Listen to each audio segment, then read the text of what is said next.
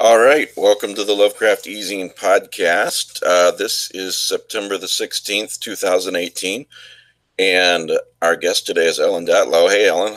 Hi, nice to see you again. You too. Uh, we're going to talk about best of the best. Which I happen to have here if I can pry it out from under my cat's body. Yeah. I just got my own copies. I don't even know if you can see it. Well, there you go. Yeah, I've been Yeah. trying to take a picture And of it. the cover it's kind of online. light. It what it has is like it has the old co- the covers for all the uh, earlier one, you know, the first ten. Not one, two, three, four, five. Yeah, ten of them. Nice. Or nine of them. Two, three, four. No, ten. Okay. All right. Yeah, it has all the co- but you can't see when I tried to take pictures. It it kind of doesn't show. So it's a light. What can I say? But yeah, it's really big. It's like. uh Yeah, it's the 475 well the stories are 465 pages Well, we'll talk about that in a few minutes. Let's do introductions real quick. Um, Heather, why don't we start with you? Sorry, desperately trying to unmute. Hi guys, I'm Heather Landry. Hi Ellen. Um, I'm an artist, a horror artist, and you can find my stuff at sandpaperdaisy.com. what's your last name sorry Oh, uh, Landry. L A N D R Y. Everybody always thinks it's laundry. Heather's Heather's an artist. She's done some work for Lovecraft eZine Press. Mm-hmm. She's very good. So, okay, Rick, Rick Lai, writer. uh, Philip Fracassi. Yeah, Philip Fracassi, uh, author and screenwriter. That's Hi, Phil. enough. Hello? What do Hey, you have- What do you have? What the hell do you have on that shirt? I have my I'm my Strange Eons shirt today. Are you are I you representing Kelly because he's not here? I am. I'm representing Kelly because he's not here. I don't have any whiskey with me, uh, which would be really truly representing Kelly's presence. But I figured I'd throw the T-shirt on at least. Yeah, you you are a good friend. Well. Okay, Matthew. To be Matthew. decided.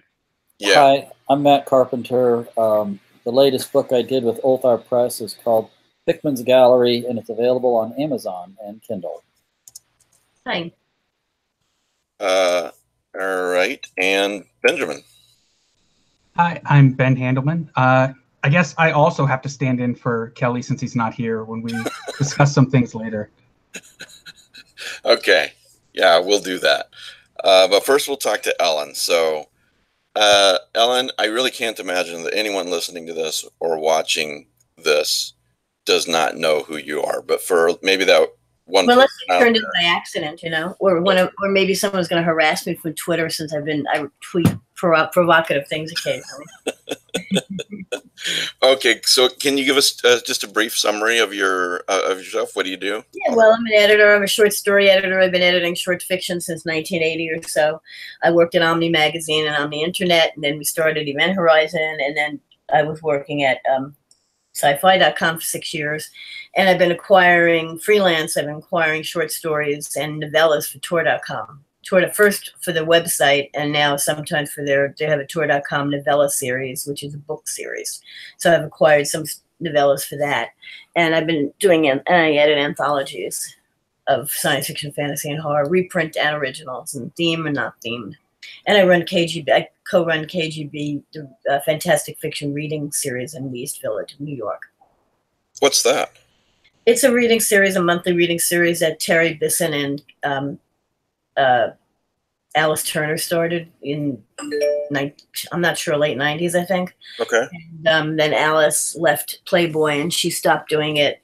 it. Initially, it was like main a mainstream writer and a fantasy, uh, speculative fiction writer, and um, and then Terry asked me to help him out, and we did it together for a few years until he moved to the West Coast, and then I took on uh, Gavin Grant, did it with me for a few years until he moved from New York to Massachusetts, and Matt Kressel's now been doing it with me for at least ten years, I think, and we basically try to have one relatively bigger name and a, and a new person, newer person uh, reading at the KGB bar is this old socialist bar. Um, that was well, it was. It, wa- I mean, it's not a socialist bar, but it was originally a socialist. It was a center for uh, Ukrainians. Actually, you know what? I don't know if we, uh, I don't want to get it wrong because it was either the Ukrainians or the Russians, and they hated each other. So, uh, but so I'm not sure which it was.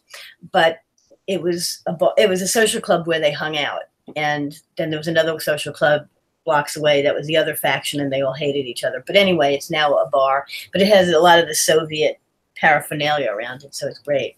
It's not great for. It's really bad for um, uh, people who can't walk upstairs. It's actually a fire trap, but you know that's the way. Hey, it's grandfathered in. What can I say? Um, and it's up it's up a steep flight of stairs. But we've been doing it for like at least you know I've been doing it for a really long time, and it's fun. You know, it's Wed- it's the third Wednesday of every month, and this month next week we have um, we have two people, and who do we have? Uh, Patrick McGraw and Siobhan Carroll are reading, are both reading together. Sounds great. Yeah, so we do that monthly. Um, well, we are going to talk about Best of the Best in a few minutes, but um, uh, novellas coming up for Tor that, that you've uh, acquired for Tor. Do you want to talk about some of them that have, that are- Well, I just mean, I, come out or about to come out? Yeah, well, the first one I acquired for the book series. I mean, I had acquired a, a few for the when Tor.com initially was doing the novellas online with their short stories, and then they decided then they stopped doing the novellas online, and then they were just books and ebooks. And the first one I acquired in the series was the Ballad of Black Tom by Victor LaValle, and the second um, came out. Uh, I had that was three years ago. Two years ago, Twilight, the Twilight Pariah, and uh, Mapping the Interior by Jeff Ford and by Stephen Graham Jones came out. This year, Kelly Robson's uh, science fiction time travel novella is called, um, oh my God, uh, Monsters and the Lucky Peach. And I've acquired two that are coming out next year. One by um, C.S.E. Cooney, which is called Desdemona and the Desdemona and the Deep, and it's fantasy. And I've acquired um, Priya Sharma's Ormeshadow, which is a barely fantasy, deeply troubled fam- familial story. That's barely fantasy, but it's really terrific. And so those are the ones that are coming out this coming next year that I've just acquired that I'm in the middle of editing actually. So. I really enjoyed uh, the Twilight Pariah. Yeah, yeah, no, Jeff does a great job. I just finished Ahab's Return. I really liked it. Yeah, His novel. His novel. Um, I just finished it yesterday, and it's terrific. I mean, it's got it speculates that Ahab wasn't actually killed by Moby Dick, and that he returns. Um, I forget how eight years later or something to New York looking for his family. yeah, Um, it's really good. I found it very enjoyable. yeah. Yeah, Well, I can't wait to read it. We had, we had him on the show a few weeks ago. Oh, okay. So you talked about it. Yeah, yeah. Um, okay, so for all those novella fans out there and fans of uh, Ellen Datlow, can they just go to Tor.com and find a list of novellas there? What's the best way to do Well, the novellas are, are not online. I mean, the novellas are books. No, I mean to, to purchase. I mean, Oh, um, you probably go to Amazon. I mean, I, I'm not really sure. I mean, I, you can buy them online. I mean, they're print books too. yeah. Um, you could, you know what? I I assume that there must be a page on Tor. What about a list of the ones that you're talking about? I'm sorry. Where would we find a list of the That's ones? what I'm you- trying to figure out. Um, I don't know. I'm assuming on Tor.com they have a whole section probably of the novellas and tell you what's coming out and what's been out. Yeah, maybe you can check So real on quick, Matt. Tor, if someone, else, I don't know if I want to go there now. I'm afraid I'll screw up the. Uh, Matt's Matt's gonna check for us. Don't yeah, worry. go to, um, look for the novellas. Uh, for I guess you can start by looking for any pick any of the titles that have been published already and see if there's a page for them or something that on Tor, because at each page each novella should have its own page. I would think on Tor books maybe, which would it Probably so. come? All right. Well, hit me back with that, Matt, if and when you find that. So. Yeah. Um, okay, Ellen, you were on earlier in the year talking about Devil in the Deep. Uh, Mhm. can you recap that for us? That's right. Um, sea horror anthology, um, mostly horror, some dark fantasy, and um, it's mostly it was it's all originals, um, all new stories about sea or the ocean or the shore. Um, I have one story that takes place in an in. Ah, don't you dare! Don't you dare! He took a. Who's going to take a bite? I think um, almost everyone in this panel ha- has cats. Almost. So then you understand when I say "Don't you dare," right? You're not going to do it. um, uh, one story by Brad Denton is kind of an inland sea story. I mean, I told people that you can, if you have an inland sea, you can do that too. So, and it's actually a boat. It's about a ship that flies on, on the inland sea. It's not about that, but there is a ship that flies in the inland sea. Yeah. So, um, yeah, and so uh, it's. I really am happy with that anthology. You know, it has a lot of different voices and different types of stories, and I thought it was. Um, I'm really happy with how it came out. Yeah. And even it has a couple of amusing stories, darkly amusing, but still amusing, which is unusual for me Yeah. because I usually don't find horror, humorous horror, very effective. Uh, yeah, I don't either. Um, Did you, read, you get a chance to read it, the book? I haven't had a chance to read it yet, but only but I, I really want to, especially because I I love sea stories and ocean stories. Mhm. But you know how it is. My TBR pile is like Well, I know. Tell me about it. Yeah. so, but it is on the file. Yes. Good. Uh, before I get to best of the best, guys uh, and gal, uh, do we? Do you guys have any questions? Do you want to jump in for a minute at all, or you want me to proceed to best of the best? Can I ask a stupid newbie question? Sure. Okay, and I am sorry. But yeah, I was just wondering whenever you put together those awesome uh, collections of uh, new fiction, which I don't know, I was really enjoying Blackthorn, White Rose last night. and That was amazing, and I didn't know if that was one of those or not. But Oh, yeah. It, well, it's one. It's one of six adult fairy tale anthologies that Terry and I worked on. oh, so good. But um, I was wondering, do you get to actually approach authors you really like and ask them to make craft something for it, or do you go through your huge pile of awesome submissions? What do you do? No, actually, I go mostly. I I don't have a slush pile anymore. I mean, it's rare that I do an anthology with a slush pile, um, unless a co-editor or someone insists and they volunteer to read most of it. Um, so no, that's what I do. I solicit stories from people from the writers who I like, whose work I really love, and hopefully sometimes they'll say yes and sometimes they'll say no. It depends on how much time they have. Oh, So that's that's really what cool. exactly what I do. So yeah, and some of the people, I mean, some of the, I mean, I once in a while there's a story in the, that fairy tale series. Um, I didn't realize that. I, I Terry and I published a story by, Patricia Briggs years and years years ago in one of those anthologies, and I didn't realize she was the one who became well known. Mhm. Patty Briggs does urban fantasy and is a really hot author now. Um, but at the time, I don't even know if she's ever written other stories than that, or many others, maybe one or two. She's written another one for me um, in an urban fantasy anthology, Naked City. But but in between that time, I'm not sure how much short fiction she writes. But I mean, it, I actually don't know how we knew about her. Uh, Terry must have known about her because I don't remember her name. I don't know how it came up. But you know, we each had our own connections. So for every anthology, if I do it with somebody or not, either I use my connections with the people whose work I like and I try to contact them one way or another, or I get, or my co-editor might know a lot of people. And you know, they'll say, Hey, let's ask so and so. I said, Sure, go ahead, let's ask them. Neat. So yeah. Yeah. And you know, and if people sometimes people might recommend I mean, I might be reading a lot of what I find is by reading through for the best of the year, I'll see who's out there, whether in fantasy, science fiction, or horror. Because um, even though I'm looking for horror, I read a lot of I read so much material for that book, that series that I'll see. I mean, I skim Asimov's. I mean, I actually have someone mostly looking at Asimov's for me, but I look at F&SF, which has science fiction, fantasy, and horror, and I look at um, you know other venues that have that cover all three genres, subgenres of the fantastic. Um, so I you know, I do notice new writers that way. Not as many science fiction writers as I used to. I mean, I've been starting to buy a few more science fiction pieces for Tor.com just because I wanted to get back into it more. Um, so I'm approaching my, you know, the people who I know have been writing uh, science fiction and people I've worked with in the past and gotten some really good stories. And I get stories from people. Um, I bought a story recently for Tor.com by Carole Johnstone, who I've only known as a horror writer. I mean, I've published her in the year's best a lot. I published her in a few of my anthologies, and um, she sent me a story for Tor.com, and it's science fiction. It's horror, but it's actually science fiction. And that was kind of like, oh, okay. And Nina Allan, I knew as a horror writer in dark fantasy, and she sent me a story a couple of years ago, The Art of, I think it's called The Art of Space Travel, which I, which was pure science fiction, not horror at all. And I loved it, and I bought it.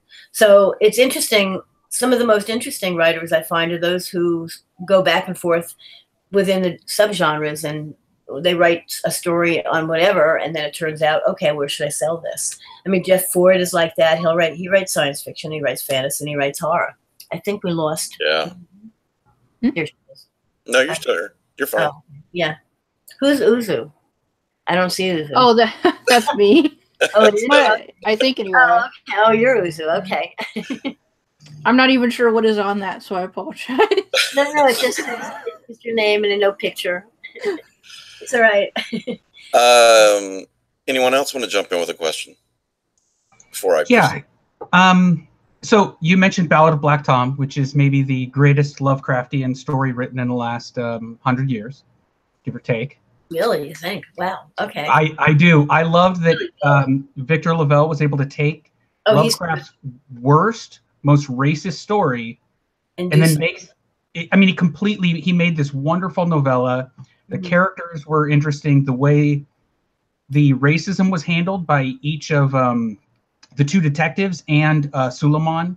Mhm. Um, the way all of it was. I mean, you read the story. Obviously, you edited it. You know how wonderful it is. yeah yeah Uh, I was curious how um, how you found it or how you how that process started. Was he reached out to or did he submit it? Well, I met him at ReaderCon several years ago, and I liked his novel. I loved Big Machine, um, which was the first thing I read by him. And I guess I probably approached him. I saw him at ReaderCon and introduced myself. I'm, I'm not- I, I have a terrible memory. I think this is what I remember happening. That I ran into him at ReaderCon, he must have had a badge. I must have said, "Hey, I love your work. Why don't you send me something for Tor.com?"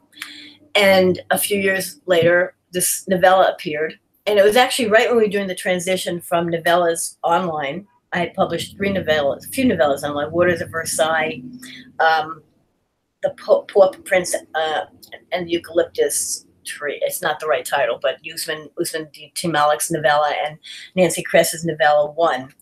And I was, we were starting to do the book novella series, and we were not supposed to be uh, we were sometimes we have a blackout. We're not supposed to buy anything for a while. We had two full up in the Tor.com. So they don't buy anything for three months or whatever. So I was I loved the story, I loved the novella, and I went to Irene and said, and I also I said, okay, I don't know if you want to use it for the new novella line or could we put it or would buy it up for the online. And I don't know which would be better for Victor. And we said, well, we don't have, we're not going to buy it for online right now because we don't um, there's no room. I mean, we just don't we don't want to ha- we don't have a slot for it right now. But you know, we'll make an offer for the for the ebook. You know, for the book as an ebook and a print book in the Tor.com novella line. So we approached him that way, and that's what he said. Okay, sure. And so that's what happened there. That it was it came in because I mean I asked for something. This is ha- what happens a lot. I'm I'll ask people whose work I like.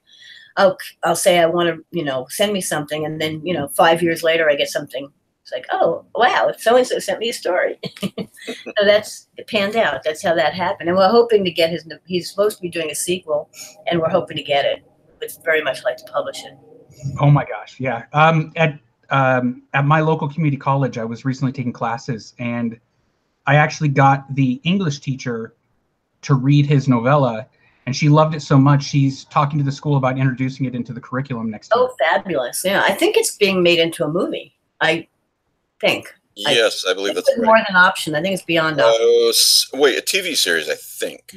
I know Lovecraft Country is by Matt Ruff, but I think also Ballad of Black Tom. Something's going on with it. Yeah, the I only one I had heard about was the uh, Lovecraft Country was going to be a little mini series, I think. Right. I could have sworn something with Ballad of Black Tom too, but I'm not sure. I really, I do think, I really think that's accurate. Although my memory's failing me right now as to Mhm. which one. Uh, and the PMs I'm getting from you guys seem to indicate that the Tor.com website does not have say, a page listing Oh, novellas. Okay. Well, I mean, I know there's some place because I've seen the forthcoming. Everyone, I, it may be on the blog. Has someone did a search on Tor.com, the website, looking for those things? Anything? Yeah, yeah. You And get these nothing. And what comes up? Nothing. Although I suppose googling Tor Tor novellas might come up with something. Yeah, Who knows? yeah. No, no, it doesn't. It it Oh, really? refers you back, and you can do a, a search on Tor of all novella-related posts, but it's not a convenient list. And uh, in the ten or so links I tried to look, just searching generally in Google, they were not Wait a minute. Here, I just found something at the top. Right here it is. Tor.com novellas, and it's tagged, and it's got a whole but it's got a whole page full of forthcoming. Maybe not. Yeah, here they all are. They're here. Okay. Well- Well, They're on um, Tor.com slash tag. I mean, I just Googled it, Tor.com novellas, and it came up.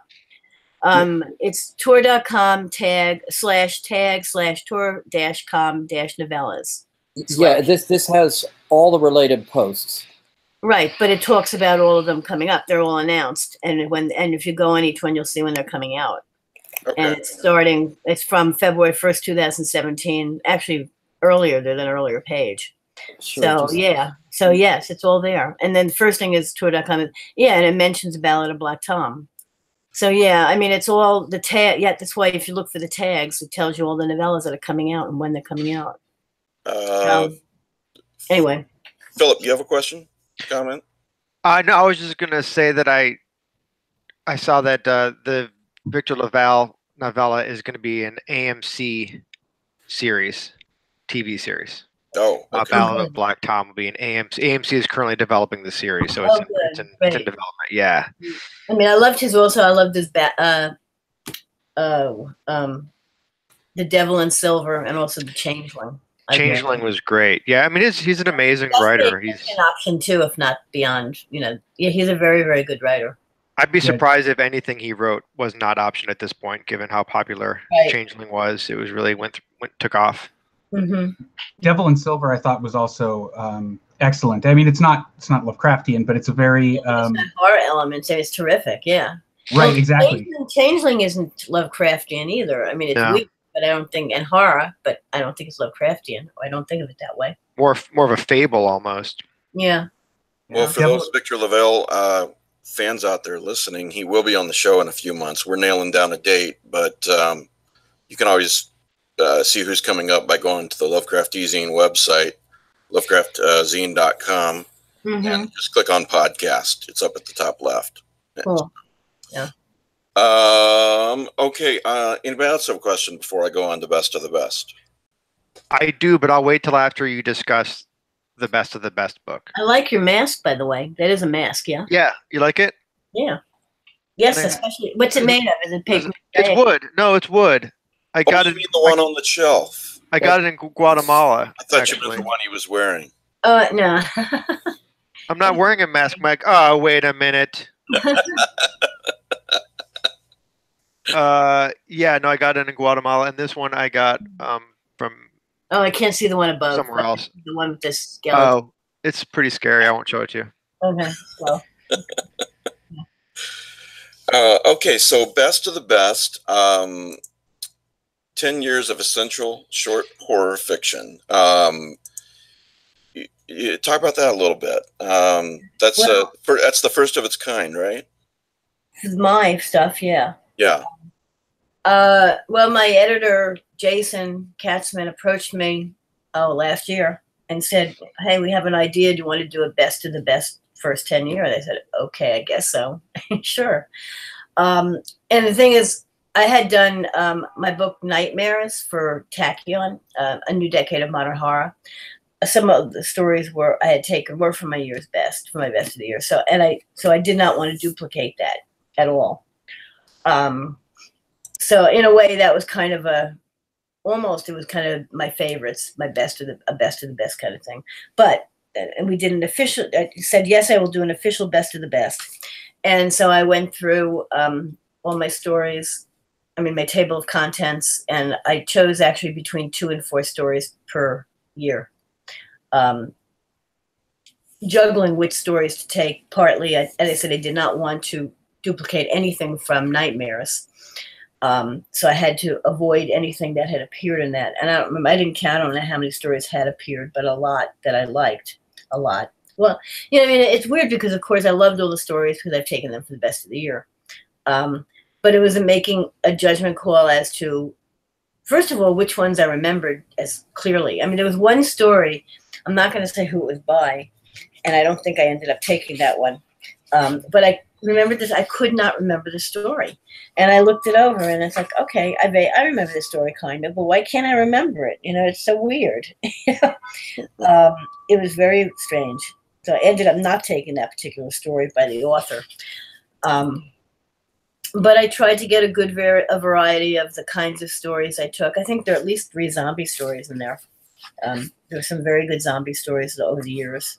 And I just tried to get a good mix. And the hardest part, I guess, was kind of putting it together is like what order, because, you know, as say it's always the best. You know, they're all the best. So it's not like I'm picking the best story. Um, it's how I do any kind of thing. It's like, okay, how do I choose the first story for anything? It's like it has to be engaging, and I want it to be to show what the book's about, and you know, not complicated, just straightforward. You know, this is telling a telling a, a plot oriented story, not with too much weird stuff in it. So that's kind of how I started it. But uh, aside from that, I mean, I had a great time doing it. Um, I didn't have to reread any of the stories. I mean, I, well, some of them I looked at just to make sure I really wanted to use them when I wasn't sure which to pick. But that's how I did it. You know, it was it's a juggling act figuring out okay which of these stories do I want to put in this book, and it's not the best of the best really. It's my favorites. You know that I, I picked this this week. Yeah. You know, um, and that go together in a way that don't clash in the sense that you know there's enough voices i guess and enough types of stories what you said about that first story is so important in in the ways that you stated but also in today's reading world in the days of kindle you know a lot of people will buy that kindle sample and be able to read either the first story or or a lot of the first story oh is there a kindle sample i don't even know how it works yeah, basically, you're on uh, Amazon, let's say, and you're interested in this book, but you're not sure that if you want to buy it or not. So what you do is you say, "Send me, send me a sample to my Kindle," and it does. What it does is, is, it gives you a certain percentage of the mm-hmm. first part of the book. Right. So you know, uh, like with Autumn Cthulhu, like you said, I tried to make it represent the book. Mm-hmm. I wanted people to basically, if they're reading that Kindle sample I wanted them to go, "Oh, this is great. Mm-hmm. Uh, I'm going to click the buy button." Right. Yeah. So, yeah. So, yeah. So yeah, I mean that's always a judgment call to figure out what to put first and last. So, yeah. So, um, and I tried also to put in stories that maybe weren't reprinted as much, but that's always hard by other people. I mean, you know, you, you want you try not to have something that's reprinted a hundred times in the last two years. You know, so the further uh, back. Gaiman's the Emerald uh, uh, Study in Emerald, or uh, which I love, but yeah, yes, but it's been reprinted a lot. no, I instead I took down to a Sunless Sea, which is short and hasn't been reprinted as much as you would think. And, and also I, Brian Hodges, who I love Brian Hodge, and I love his story. All of his stuff is great. Yeah, what, what's the name of that story that's been just reprinted everywhere? It's a Lovecraftian story. A lot of his stuff is Lovecraftian now. Yeah, but he's he's got a story that's just been reprinted. Let's study an emerald, your favorite. Everywhere. No, not we're not talking about Neil, Ga- Neil Gaiman. We're talking about I hope it's not. Well, I hope it's not the one I took. The stagnant breath of change. No, that's not it. I I would recognize it if you said it. Yeah. So. Um, yeah, I mean, I deliberately tried to pick stories that were, haven't been reprinted too much. Brian is such a great writer, and, and yeah, he's gotten better. I mean, the last five years, he's been amazing. His short fiction has been amazing. Really, pretty good. You know, he's and I know I know his he had a parent die, and maybe both recently, and I think he's been knocked out of his, you know, his. Yes, he just he emailed me actually just a couple of days ago. He's got he's going to be on the show. Um, coming up soon, and he said, you know, hey, maybe have a stand-in. I think I'm going to make it, but I'm not sure because I'm dealing with my parents, and you know, he's going through a lot right now. Right. You know, obviously. Yeah. So, and if that happens, we'll reschedule him because I'd love mm-hmm. to talk to him again on the show. Um, so you didn't have to really reread any that you selected for best of the best. Did I hear that right? Well, yeah. I mean, what I did is I made a list of the stories I looked at each volume, my table of contents, and pulled out stories that I remember that I really, really liked. You know, my favorites from each volume. Yeah. And I made a list of, you know, which volume, what date it was published, and what year. and um, I did that with all ten volumes, and ended up, of course, with too many stories. You know, and I wanted to make sure I had at least two stories from each volume, and some of the some of them I I here I think I wrote down how I fig- what I figured it out actually. Um, yeah, yeah, no, I mean basically I just took between two and four stories from each volume. And yeah, but I also my editor, my in-house editor wanted me to do kind of a summary also, but not as long as the usual one. But so I had I picked I mean there are several pages of my favorite novels and collections and stuff also over the past 10 years. So, you know, so that's uh Is, is that part of your introduction? Is that what you're saying? yeah, it's my yeah, it's my yes. It's is it part of it? So Yeah, instead of a year-end summary like you normally do, it's like a decade. yes, summary. exactly. Yeah. Yeah. So I yeah, so it, that is included there. Yeah. Um, I mentioned the favorite novels that uh, in the last 10 years that I from up to that point and collections. I don't know if did I cover I may not have covered anthologies because that's so I always hate everyone's anthologies but my own. Did you tell me once that you're really not fond of writing introductions, or am I thinking of I hate writing introductions. I hate writing anything. No, I, I covered uh, the single author collections, and maybe, and that's really it. Yeah, I only I did. Uh, I had my favorite collection of my favorite novels, basically. Yeah. Yeah, Alan, I have a book. I have so I have I think I have well anyway, I have Darkness which is two of our stories, is that right? I'm sorry, I just lost you. Yeah, No. say that again, Philip. Darkness, which yeah, is that was, that was two- two decades of modern horror. and then Nightmare kind of picks up where Darkness leaves off, right? Yeah, Yeah. between 2005 and 2015. Okay. And then this is but this and then this one is that you said there's no crossover between Nightmares No. and No, I and this one. deliberately made sure there was no crossover whatsoever. Great. Cool. So from 2000, from when I started the year's best number, best horror number one through 10. So it would have been 17. So I guess um, 2007 to 2017, I guess, Mhm. something like probably. Uh, okay, just FYI for the audience, best of the best, best of the best horror of the year, 10 years of essential horror fiction, will be available on October the 2nd. You can Um, pre-order now, though. yes, I was going to say it really helps the publisher when you pre order um, Publishers like that. instead of just waiting until uh, it comes out.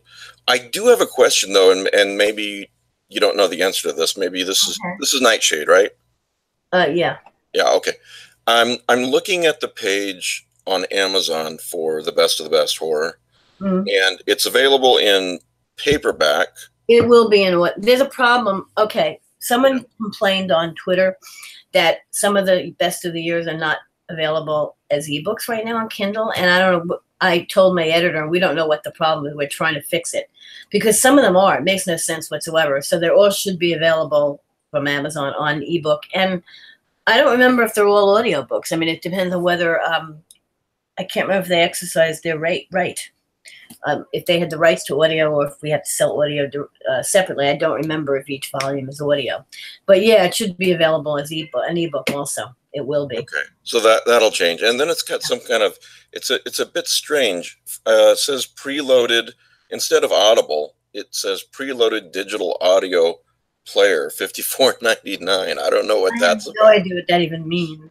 I didn't even know uh, they used to make those. It'd be like a little portable MP3 player that would come with a book. I, I haven't seen one that wasn't the Bible in probably 15 years. I wonder if that's even legal. I mean, I have no idea. It's like, Uh, it's just it's just pre- it's kind of strange. yeah. Yeah. So maybe Nightshade can answer that later and, and correct if that if it's I that well they got Remind to me and I'll ask my editor, what the heck does that mean? I'll say, I don't know. what is this fifty five dollars thing Nightshade? Yeah, right. Yeah. Because this is a thick book and it's available uh, in paperback for only ten ninety nine. There's a lot of stories in this book. It's only ten ninety nine. Yeah, that, that seems just very economical to me. For Well, actually, yours Funny. seventeen ninety nine, but maybe on Amazon it's cheaper. it's it says ten ninety nine on Amazon. On the Darkness, Darkness in paperback is thirty dollars on Amazon. Really? That's yeah, weird. it's, it's very it's out of expensive. print? That's ridiculous. So I don't know why it's so expensive. It's still in print, as far as I know. This is the new price, for thirty bucks. And used ones are available for like three dollars. Yeah, that's not Yeah. good. Well, Um, New copy is very expensive. Yeah, no. Um, I have it. It says here it's seventeen ninety nine on the book itself. yeah, that may be. Uh, I'm assuming it's going to be in stores, so that may be the store price. Amaz- Amazon always has um discounts. Yeah, well, I guess my advice to the audience is just in case this does go up, get it- get your pre-order in today at the 10.99 for the best of the best horror of the year. yeah, I did include the link in the uh, show notes on YouTube, and when I put this on iTunes and other places, I will. Oh, here, see, no, here it is. It is seventeen. It's Amazon because Amazon it's seventeen ninety nine, and then they have the crossed off as ten ninety nine. Now they do that a lot. Yeah. So, um, yeah, I don't know if it'll go up or not, but certainly I would get it's that's a pre order price. I would certainly get it now when it's cheaper. Yeah, Um, I don't know if the other ones. Let me see what the other ones are. Well, here, like the best number ten is um ten ninety nine. List fifteen ninety nine. Amazon always has them cheaper.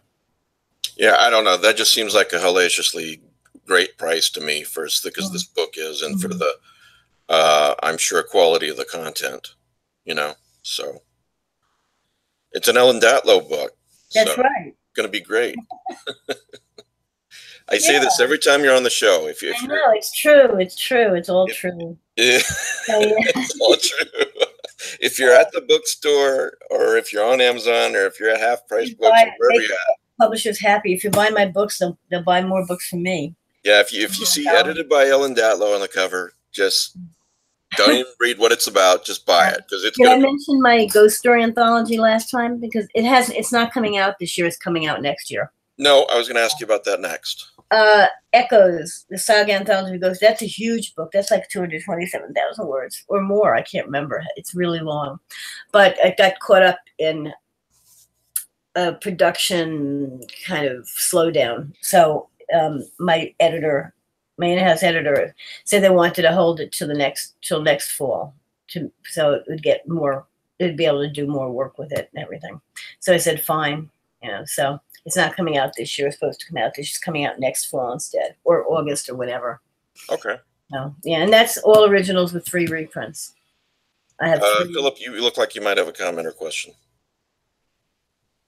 No, I was just gonna say that my the one book that Ellen did that I've been trying to get a good copy of for that's been out of print is for some reason volume four of the best horror of the year is really scarce. Is it? All the other volumes are in print and available on Amazon, Mhm. but four is out of print. And I only the only reason I can think of is because it has a Stephen King story in it. I know, but it's silly, which means they should have kept it in print. I don't right. I know. Yeah. It's kind of the it's like, you know, one of those things I'm always on the lookout for. But Oh. speaking of speaking of books that are it, know. I, hard, hard to find. have, I might have cop. I probably have a copy of it someplace. I- Okay, sold. All right. Well, you know what? If you have my email address, email me. If I have any around the house, I'll see if I can find it and I'll sell it to you for whatever the list price is. You know, whatever the cost of the book is, whatever. Um, The, the list price is like what, one hundred and ten dollars? Ellen, tell them. No, I know. But I mean, I may only have them in storage. I, I have so many books I have to put into storage, and so I have to see what I've actually got. But I may have a copy of it around. So email me, drop me an All email. right. I will. So, so let's digress a second. Okay, how overwhelmed is your place with extra books sitting around? Oh, it's say it- horrible. It's horrible. If I could turn, I don't know if I can turn my computer. Cats and around. books. Hold on. You can see I'm turning it around a little. Yes. Uh, was that lots of little Now, I'm doll heads? around. Okay, there's a huh? Lots Yeah, of little can- doll heads, see Oh yeah, I have a lot. Yeah, I have a small bookcase here. I have some books on the floor there. That's nothing. But I'm going to try to turn this the whole way around, and you'll see my room. Oops, Was that oh, stop it! He's been eating my my my my metal shades. Stupid cat. I don't want to do. Oh my god! And I see teeth mark on my plug. Oh my god! He's I gonna see your dolls. My wife. Yeah. Well, anyway, I have a I have a room over there that I don't know if you can see the open door. Maybe not. You see my bedroom, but I'm not going to turn it all the way around.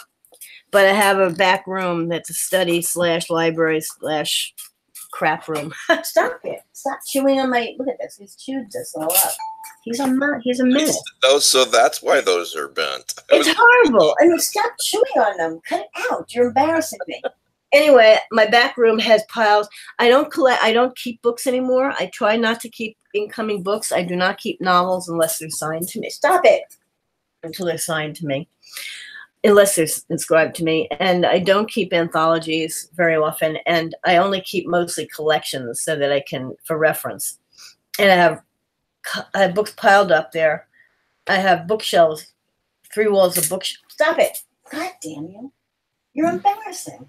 You know, speaking of that, Ellen, um, you told me once several years ago that I, I am paraphrasing. I think you said something to the effect of you're you no longer really read just for pleasure. Is that still true, or is or is everything you read is it work related? Most of it is I take a break every once in a while. I did I have read a couple of nonfiction books in the last that are not related. hmm Um one semi one political one and one that was um did you you know about the movie about Scotty, the guy who um who like got connected everybody with sex sexual partners in the 30s, 40s, and 50s in Hollywood. There's anyway is um a I think I missed that one. There's a documentary that's fabulous about him. Anyway, I bought the book. It's called Full Service, and I read that. I kind of zoomed through that. That was my guilty pleasures. I'm going to show you something that I have to have to have when I do these shows for for my cats, and it's going to change your life. This Oh, I have it. Yeah, I usually have it. In fact, I it right here, my spray I bottle. have it. I know. Jack, please don't. Please don't. Every time they do something, they seem to know I'm on the show, so But they he like seems to like it. He seems to not care anymore. I have that too, and he doesn't seem to care anymore. He gets soaking wet. He like looks at me. He's like, he doesn't care. Then I spray him with water. Oh, stop it! Cut it out. Well, to to wrap up, you've got a couple of books out there um, that, for one reason or another, went under my radar. Okay, uh, my fault. But I wonder if you'd briefly say something about them. The first one is uh, Mad Hatters and March Hares. Oh yes, my Alice in Wonderland anthology. I love Alice. Um, um, I love. I've always loved Alice in Wonderland books. I collect illustrated Alice's, in fact, and I have some illustrations from Barry Moser's books. Um, but I was at a convention. I was being interviewed, and um, we were talking about anthologies I've done, and we were talking about the Poe anthology and the Lovecraft Unbound. Do you have to throw you in the bathroom? Stop it. He listens to me for five seconds. Well, Um, he's a but cat. anyway, so someone in the said, someone in the audience said, "Is there any other person writer who you'd like to do an anthology inspired by?" And I said, "I don't know." Um, it hadn't occurred to me. I said, "Oh, well, Alice in Wonderland. I love Alice. You know, I love the Alice books." Right. So afterwards, all these mostly women came up to me. Women writers said, "Oh, we want to be in the book. Please do an Alice in Wonderland book." And so two years later, so I was able to sell it, and so that's how that came about. I mean, I love I love Alice in Wonderland, and I love it. So I that's one of the few books that and Poe and Lovecraft's Monsters are the few books that I've actually asked people to tell me what they're going to write about. So I'm sorry, he's making too much noise. Stop it. Shh. Uh, they were the few books that I actually asked people to give me an idea of what they want to write back write about, so I didn't have too many repetitions of like. I mean, I, as it was at Poe, I got three House of Usher stories, but they were very different from each other, and I knew they would be. Um, so that's something I was aware of. So I asked people, "What character do you want to write about? What what kind of aspect of Alice do you think you'll write about?" And at a certain point, I say, "No, okay, no more reflections, no more mirrors, please. Go away. Stop it. No, you know, I can't. You can't do that." Right. Um, but yeah, I mean that's an again, it's a juggling act to make sure you don't get too much of the same thing. If people, you think people latch on to the a particular character or something, there are a couple of stories that actually had Lewis Carroll in them, but not many. I mean, maybe one or I know one did, maybe two.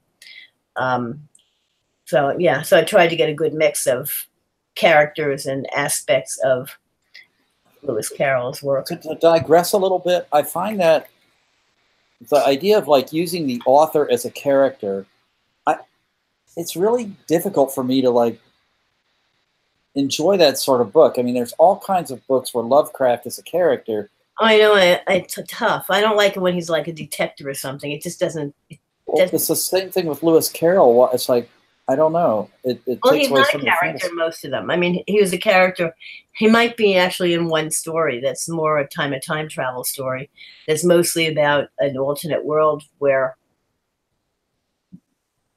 someone's in debtor's prison, and then and then the mad ha- the, and the, the girl's father is becomes a mad hatter from the Mercury, but and I think she goes into another universe where Charles Dodgson is lives but mostly it's not that. So yeah, I have. I mean, I don't like that too often. I mean, I think it's a totally different kind of story. I mean, that's you know, famous person stories, alternate person. I mean, I've Howard Waldrop did those wonderfully. I mean, Ike at the Mic, which is Eisenhower and Elvis Presley, you know, doing things that they weren't doing, and they can work, you know, but they're whole different. It's a whole different subgenre of most science fiction or fantasy and you can't have a lot. I mean, you can do a. There have been people who've done whole books of those, of course.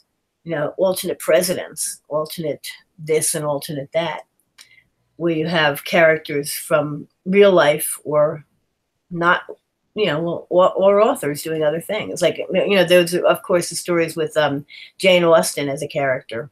You know, Yeah. sometimes it works, sometimes it doesn't. Yeah, Uh, I've seen, um, in particular, I can't count how many times I've seen Sigmund Freud used as a character in a short story or a book that takes place in the late 1800s. It's it's way overdone, in my opinion. Oh yeah, and it's like it's it's not true to their personalities usually. I mean, and the reason I say that is I've I've read stories about people I know. I mean, people who are mentioned in a story. You know, a, a real life person who I might actually be acquainted with, and I said that's not that person at all, and it just feels wrong. It's like so. I assume the same thing is with the writers who are in put in stories you know the famous dead writers who are put in stories that that's not really what they were like at all and it's just you're you putting your your you doing this but like and you know with jeff ford's novel um, i really think it works with ahab well on the other hand um, melville's not in the story at all i mean Yeah. ishmael is and ahab is but the, the characters are in the story but the author is not so i don't know that's a different kind of thing Yeah. And the other book that went under my radar was uh, Nightmare Carnival. Could you briefly talk about that one? Well, that was a book I did for Dark Horse, uh, uh, Dark Horse, um, which mostly does comic book comics and doesn't do very well with their books. But they've published three of my anthologies. Um, it was it's basically it was stories about carnivals and circuses, and all original stories, and um, some fantasy and some dark fantasy. It had a cover that I hated. yeah. and- Oh, I shouldn't say. I mean, it had a really a good cover, but not what I wanted it to be. I mean, it was a Mike Mignola cover. I think. I think he did it. Well, maybe not. It may not have. But anyway, I did not want a clown on it at all. It did have a clown in it, but it's. I mean, I wanted it to I'm be. looking at the cover now. It does not look like Mike Mignola's stuff. no, so okay. There's he- one that he did. I think it was a different one, but I know what you're talking about because I saw it when I was looking. Yeah, I mean, I just hate the cover. I mean, it's not. I mean, my editor and I talked about it. I showed him examples. I wanted him to use a Ferris wheel, but I wanted a really cool photograph or painting, but something not. It was too comic-y what they came up with, which is Dark Horse's problem. They don't know how to do anything that's not basically. I mean, they have a real hard time. I don't understand why. Well, they stopped buying books for me anyway. They probably can't sell any anthology. The Lovecraft ones do okay. I mean, I did Lovecraft Unbound for them, which did very well, I think. And then um, uh, Children of Lovecraft, I did for them. That was a Mike Mignola cover, and that was a good cover. But the Nightmare Carnival cover, I thought was disgu- was terrible. I mean, it was it just looked like a kid's book, a kid's like nightmare book, you know, with a stupid clown on it. I mean, at least the clown wasn't in the forefront, but he was there, and it's like exactly what I didn't want them to do. So, Yeah, I can't. I'm looking at the cover, and I, I can, really can't disagree with that at all. know, I Uh, mean, this is misleading. It's not. Oh, and, because Dark Horse is mostly comics, everyone's and they I guess they post their books on the comics page or someplace, and so people get all pissed off. It's like this isn't a comic. There are no pictures. I said if you looked at the description, it said that it's a te- it's not a comic book. It's an anthology. Jerks, but you know they never have figured out how to sell books, and I don't know why they persist in doing it. Every once in a while, they still do, but not mine. I doubt it's uh, never mine. But they, they, had- they did supernatural noir, which I'd love, and I'd love to do another supernatural noir, noir anthology. Yeah. Someone, we'll see. Anyone else have any questions for Ellen? Just a quick one. You kind of touched on it, but I had again, it was just a silly question. But as an artist, I was just curious as yeah, how you came up with like the covers for your anthologies and if you got to have any input. So I guess you kind of tell them what you want, but Uh, mostly no.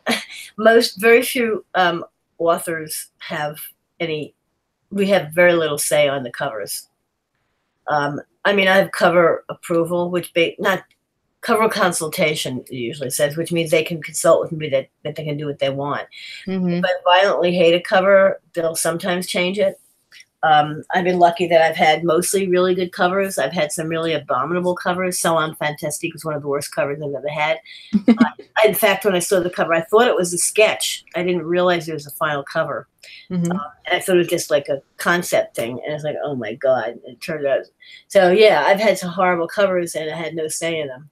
Uh, and on the other hand, sometimes if, as I said, if I have, you know, my editors, in-house editor will listen to me if they're about some, on some things about the cover.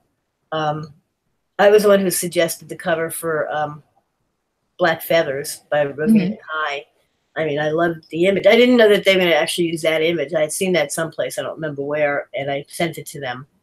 And it turned out they used the. They also, the publisher didn't pay her until we bugged him. I mean, he forgot. that's a common artist experience. I mean, I don't think he did it intentionally. He just forgot. And you know, then I don't know the I didn't know the artist personally really.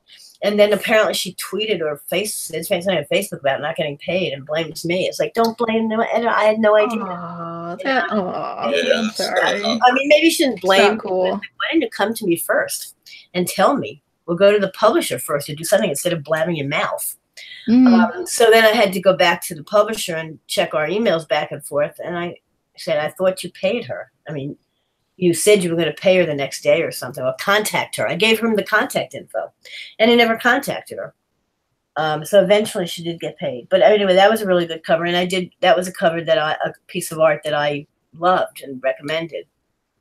Yeah, I'm So, looking at that yes, right now. yes, It's great. To have something that they, you know, that they'll, you know, sometimes they'll listen to. It totally depends on the art Mhm. director and, you know, if they think you're full of garbage or not.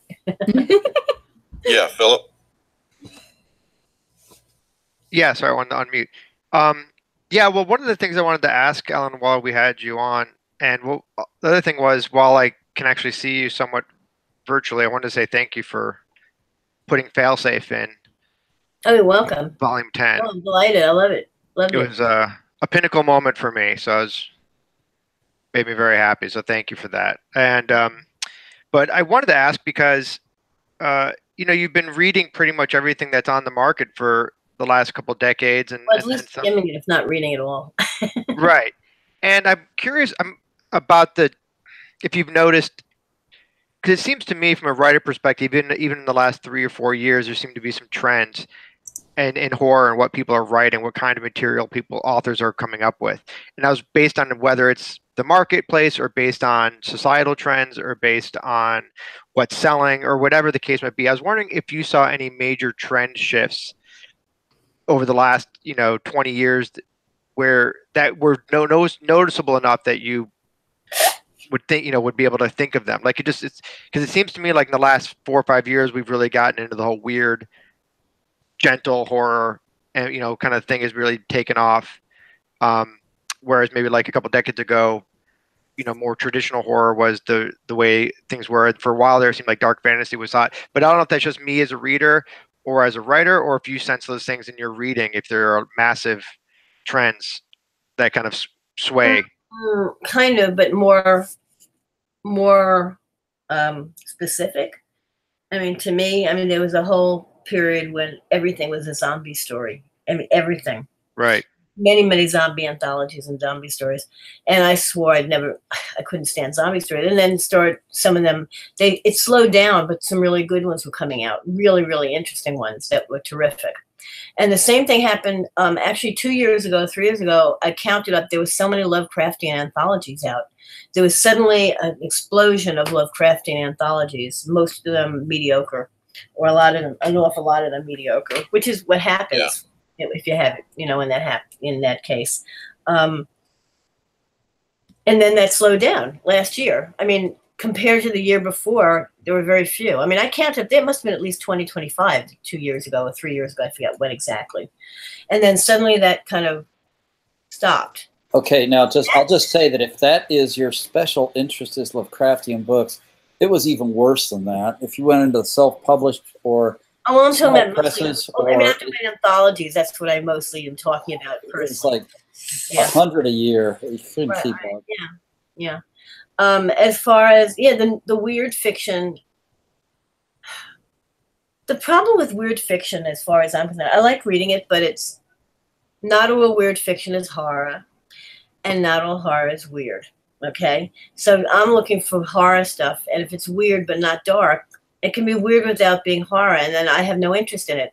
I mean, because as because I'm reading because I'm always reading with blinkers on. I'm trying to skim or read with blinkers on because I'm looking for what goes into my anthology. Um, so I may like stories. I may see a bunch of stories that are interesting and weird and darkish, but not really that dark. And to me, um, it's hard for me to judge them except that they're wasting my time, which is totally the wrong way to judge them because they're good stories. But as far as my purpose and what I'm reading them for, which is the year's best horror, Right. I just dismiss them. You know, it's like, and sometimes I will recommend, I put them on my honorable mentions, and sometimes I won't if they're if I think they're too lightweight. But if I think it's a really terrific story anyway, I might add it anyway. But I'm not going to take it for the year's best because it's not dark. It's not horror. It's not dark enough, and it's not horror. Um, so I'm finding I'm finding a lot more dark fantasy published than horror and short fiction. I'm mostly talking about short fiction. I don't read, you know, there's, you know, I don't read that many novels, so I can only really judge the short fiction that I see, and so much more of it is dark fantasy. Sometimes now in, in a magazine or a book that seems to be mixed genre, like Asimov's. Sometimes I'll start reading it. I'll, I'll read the heading and see if it's supposed to be dark. Sometimes I'll skip to the end to see if how depressing it is at the end. If it's happy or if someone dies or someone, if you know, if people die at the end, and if they survive and they walk off happily into the woods, then I know it's not horror.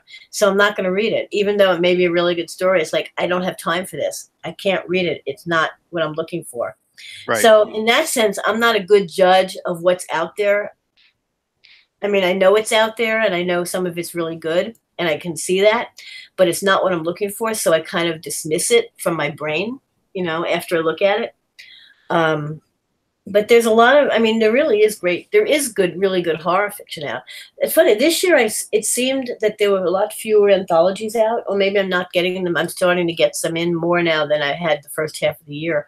But it seemed to me I was getting way too little stuff. And I think I don't know if the anthologies, the original anthologies, have dropped off, or if it's just I haven't gotten many of them yet. So that's disturbing to me. Um, is that a trend? I don't know. It may just it may be just a blip, and it may be that I'm just not getting them yet. That people are waiting to send them to me. I don't know. You know. Um, But other than so, I mean, you know, so yeah, do you see weird fiction as a, I mean, there's definitely more weird fiction out there, and I like it, but it's not what I'm looking for if it's not dark enough. Right. It's uh I think the word they use is strange, like Robert Aickman, Reggie Ol- Reggie Well, Oliver. Robert Aiken was horror though, and Reggie Oliver is horror usually. Yeah. Yeah. You know, they're dark enough to be considered horror. So it depends on what you mean by weird fiction, I guess. Yeah, I mean, I guess that's what I mean. Is sort of strange. It just seems like there's that the strange fiction market, strange fiction horror market seems to be booming right now. There seems to be a lot of writers kind of focusing on strange fiction and social political stuff, and maybe it's just me as a reader, but it seems to be trending. And I was wondering if you caught any of that, or if it's No, just what I have found, and I find it really depressing, is that there's very little science fiction being published these days. that I have noticed. It And seems most like people are not writing science fiction; they're writing fantasy. I mean, you know, and I have nothing against that. but people calling science things science fiction that are not at all science fiction and it's like don't call it that it's not that and i feel badly because there seems to be a lot less of it you know and as i said i'm not really reading that much but I, even in the story in the stories that i read that are supposed purportedly science fiction it's like they're not Right. Friday the Thirteenth in space does not make it science fiction. I Right. have a question about the whole That's lack true. of science Science fiction. fiction Oh, and horror depends sorry go on Mm. Well, I was kind of wondering if maybe we're having less science fiction now because it's not much different from what we're all experiencing right now since our technology has advanced so quickly. Maybe we're having trouble imagining what science fiction would now be and to escape and have stuff that like fires our imagination, we kind of revert to fantasy because a medieval setting is much different than what we have now because we're kind of living in a science fiction setting now. yeah I mean, I wonder if that's it. Well, there's some things. I mean, certainly, um, there, I've been in discussions about this about space exploration. There are certain things you can't do in science fiction anymore because you know that Mars is not like this, Venus is not like that, so you can't have this going on in Venus. So, but I know there are really great. I've been reading really great science sto- science fiction stories about space, about space exploration, and um, it's always what you're going to do with the technology. I mean, even I mean, it's always what if, you know, and and just even judging 20 years ahead, how is where is cloning going? Where is um where are medical uh advan- advances going? So I mean, some things it's more difficult. Well, science fiction has always been more difficult. You have to do research. You yes, you fudge the material, but you still have to do the research to make it sound right. yeah, that's true because you can't just be like it's magic. Anyone can write fantasy. I mean, anyone who writes and writes well can write fantasy, but you have to do research to do science fiction, no matter what kind of science fiction it is. If it's futuristic, if you're even if it if it's sociological science fiction, anthropological science fiction, you still have to do some research, which in a short story for fantasy, it depends if it's third world. I mean, if it's um other what do you call it, imaginary world fantasy Mhm. uh, yes, you have to do. Well, you have to imagine it, I guess, and you can use. You know, a lot of fantasy has used medieval times or earlier and other, you know, and other people's um, anthropo- anthropology to Mhm. create interesting fantasy. Um, I just think science fiction is more difficult, and people are don't want to. I don't know. I mean, they're I, or they've been told that what they're writing is science fiction, but it's not. Mhm. Uh, well, you're talking short stories, right? So it Yeah, certainly seems to me short that, stories. Yeah, that there's sorry, still a lot of science fiction novels being put out there. It, yeah, least, there's, a- there's still a lot of science fiction novels out there. yeah. It's harder, I think, to find real science fiction stories. Uh, okay. Well, anything else that we haven't covered that you've got coming up that you can talk about, or did we cover everything? Are you asking me or them? You, you. oh, me. oh, I don't know. Um, Uh, maybe we covered everything. I don't know. I- I've got a question though. Um, what about personal appearances? Are you having any of those coming up? um, I'm going to be in Boscone. I'll be at Boscone this year, next year in February.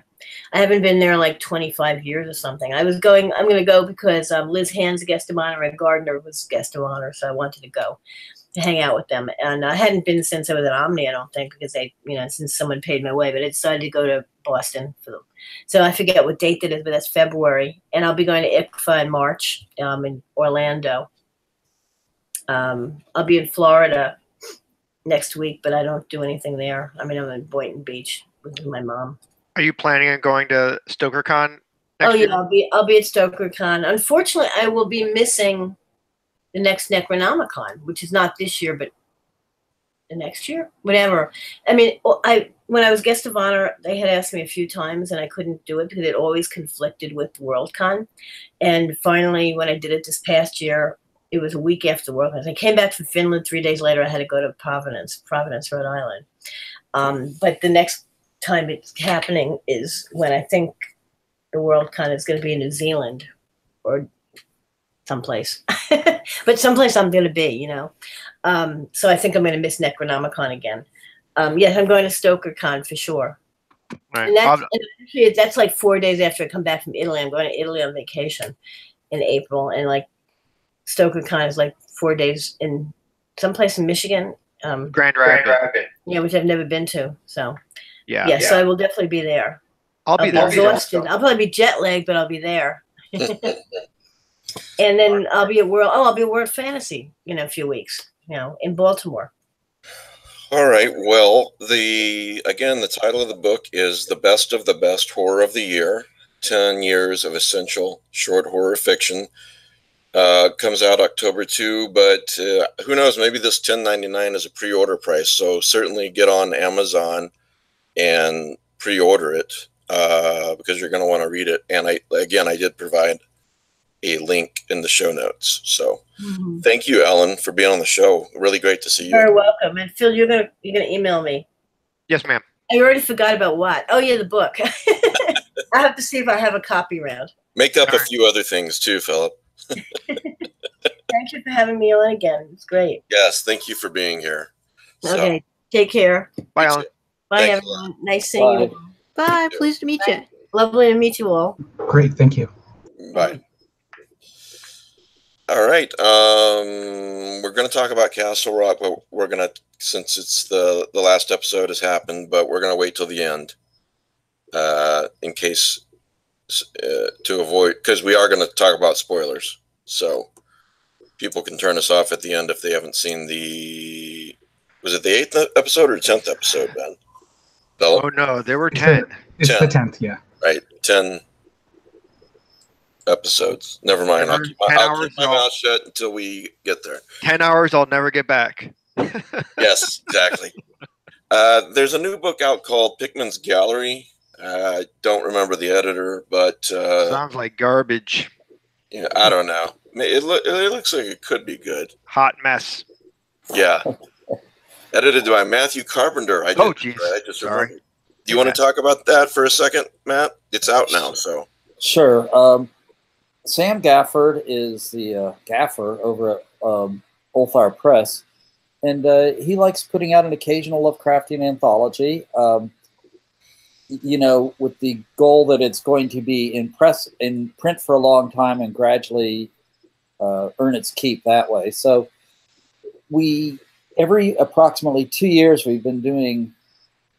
It's from a slush pile we do an open call for stories related to Pickman, and we didn't really have a specific set of themes other than that. We wanted the authors to let their whims go where they would, and we got close to 150 submissions again.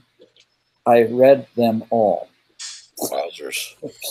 and narrowed it down to about 30 for a first cut, reread all of those, and we ended up with uh, 17 stories. And I'm really pretty happy that it's a pretty good read. I think most of the readers will enjoy it. Um, uh, there's some people that I've never heard of before as authors somewhere. I think it might be one of their first few publications, and others who have interests other than weird fiction, and somehow this uh, caught their attention. Uh, some people are well known to this group, like uh, Peter Rawlik is one of the authors. Um, but uh, it was, uh, all in all, a very satisfying experience at the end. Although I gotta say, for about a year, it was like things were stuck in second gear. And now it's uh, freely available on Amazon. Unfortunately, after I went through the editing, like there, we had done some edits on the first book, which was called um, "A Lonely and Curious Country," Right, great title. and none of them, none of the corrections appeared in the final version. And then I got How did that happen? I don't know. I don't. I don't understand anything. Okay, and then I got you know flack that like this is a poorly edited anthology, and I'm going, well, yeah, you're right. God, who's that idiot? So this one, we did another serious round of copy edits. Each author got to go through it. I went through each story twice again, and Yeah, that's fun, isn't it? but then we we uh, he sent in the final version, and uh, basically the bottom of ten of the stories was cut off. so So the first 15 or so people who bought the book got a damaged copy. And so those had to be replaced. And now I believe what is available for Amazon is the final version. Well, I'm looking at it on Amazon right now, and for those of you, I know many of you are on Kindle Unlimited, it's free to read. So that's a good thing uh, if you're on Kindle Unlimited, and it's also available in paperback. Uh, looks like fifteen dollars and seventy-two cents. So, um, you know, he is doing other things. He's very much a uh, William Hope Hodgson fan, and he publishes Yeah. a book called Sargasso, which is um, a, a, a, um, a scholarly journal about Hodgson. And he has a couple other books uh, coming out uh, through Ulthar Press. So uh, it's really, it's, it, this was a very nice opportunity, I thought, for authors to like you know, Ellen says she only does submitted work. And I think, like, for example, Brian Sammons, he only takes solicited work. I mean, um, they don't want, you know, cold submissions. Uh, so this was an opportunity for people who weren't, uh, you know, in with the uh, editors to have a chance to get something published. yeah, and that's important because there's some diamonds in the rough out there in those slush piles, but it, it is hard going through those slush piles. you know, ever since um, I, I, I've always wanted there to be a, ever since the uh, print arm of uh, for short fiction of uh, eZine uh, was sort of set aside because of other demands. I always wanted to have an avenue for new authors to at least submit work. Um, and so, probably in another year or so, we might be coming up with another title.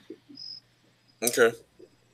Uh, Soren Narnia of Knife Point Horror, uh, the Knife Point Horror podcast. Uh, I talked with him the other day uh, for a Patreon podcast, and I believe I'll be able to post that tomorrow for all you patrons. It was a really good conversation. We talked about Knife Point Horror, and then for some reason we started waxing philosophic on life, the universe, and everything. And I do think that we gave the answers to at least life. I don't know about the universe and everything, but yeah. So if, if you're curious about the secret of life, you might, you know, and you're a patron, you might check that out tomorrow. Uh, meaning Monday the 17th. I think I'll have it up by then.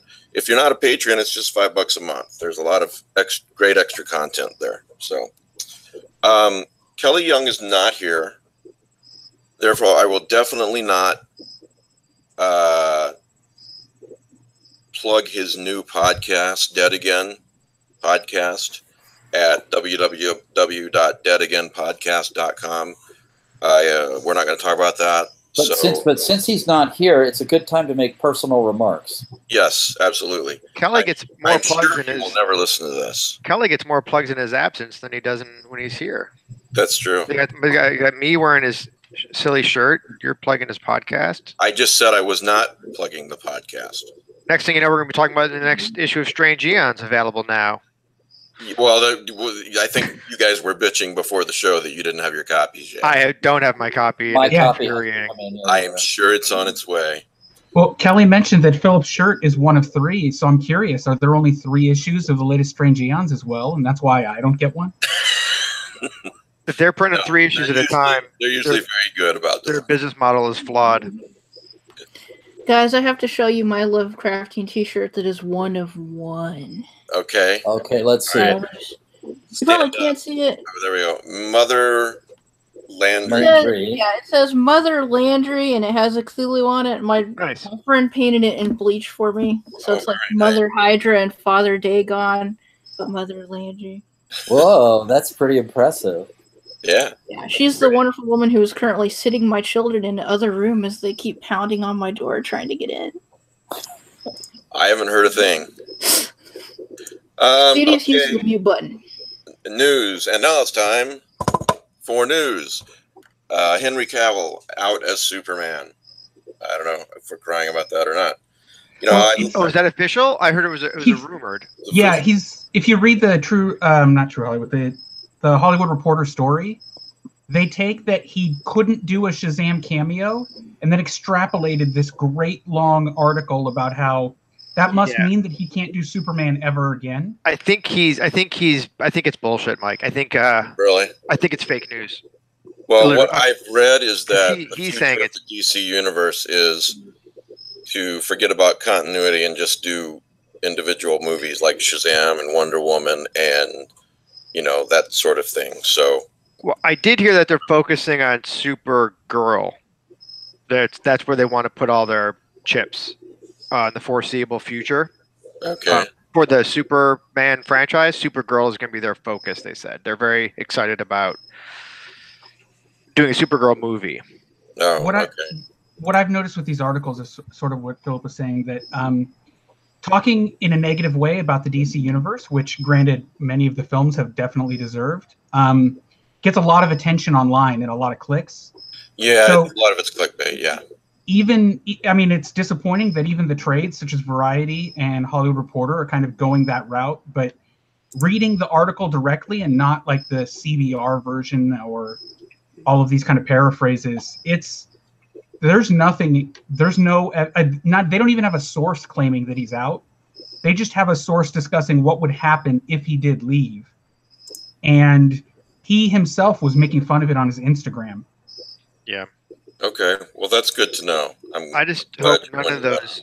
I just hope none of those animated mermen from Aquaman leave, so that we can see them in all their glory. I'm sorry. It's uh, just the stupidest trailer ever. Matt uh, Carpenter has been bitching for the longest time about me showing Cold Skin on uh, on the Saturday night movie night, and uh, Matt, it's it just came out on the 9th. No, Is but it- what I've been bitching about is you won't show Big Ass Spider. No, I'm not going to show Big Ass Spider. Is Cold Skin good, Matthew? Um, Big Ass Spider is. Cold Oh. Skin is now available. It looks really good on a The remote was, the island. book was good. I haven't seen it. I'm waiting for Mike to like pay the two bucks. Yeah, it's just, uh, uh, yeah. I make a lot more money than you do, so I'll do that. Uh, on a remote island in the Ant- Antarctic Circle, a young man finds himself trapped in a battle for his life against nightly invasions of unknown creatures that emerge from the ocean. Who knows? There could be some Lovecraftian themes in here. It's certainly everything that I've been hearing is that it's good. It's now available on Amazon streaming to buy and to rent. The trailer actually does some very good job of setting the mood of the isolation of this lighthouse and You know, and I really love that kind of story, Matt. Lighthouses and the isolation of it, and I, I'm looking forward. Uh, all kidding aside, I'm looking forward to watching this. I am too. Uh, Matthew, did you read the book or just see the movie? Read. Well, it's not a. He's waiting for the Reader's Digest version to come out It's not a. It's not even a graphic novel. It's like a real. Like there's no pictures or anything. with so- words Oh. and everything. Yeah. Books. I just, good I just. I just, I just finished this John le Carre book. So Okay, so you do read. All right. But Cold Skin is a good book if people want to search out the book. It's an excellent book. I don't know about the movie. I can't speak for the movie. Okay. I, I don't want anything to ruin the film for me. I know that's pretty lame, but Stand by for news. Okay, here's a new book that just came out. Uh, Doorbells at Dusk, Halloween Stories.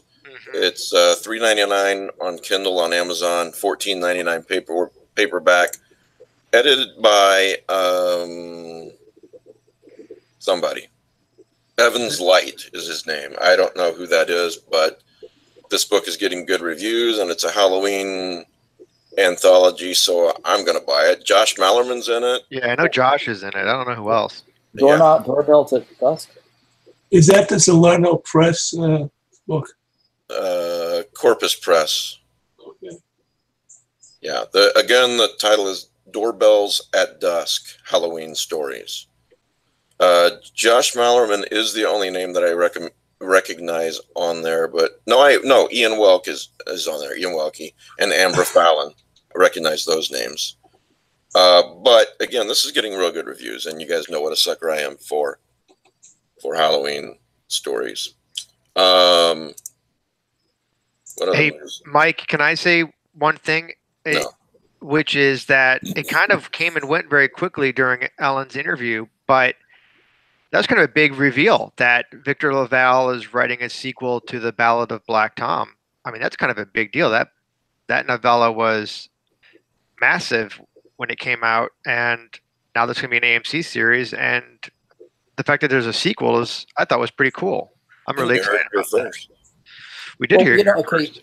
you know, when we talk about the book uh, Lovecraft Country, which dealt with the racism in a very vivid way, That's the jo- uh, Jordan Peele's doing that. right? one, The, the well, the, the strange fiction part of it was for me only okay. It was, you know, as far as being a strange or weird or Lovecraftian fiction type novel, that part of it was secondary to the way that he depicted the racism that was experienced by the people who lived then. Whereas I thought the Ballad of Black Tom was a great weird fiction novel, also. So you enjoyed Ballad of Black Tom. It sounds like more than Lovecraft Country.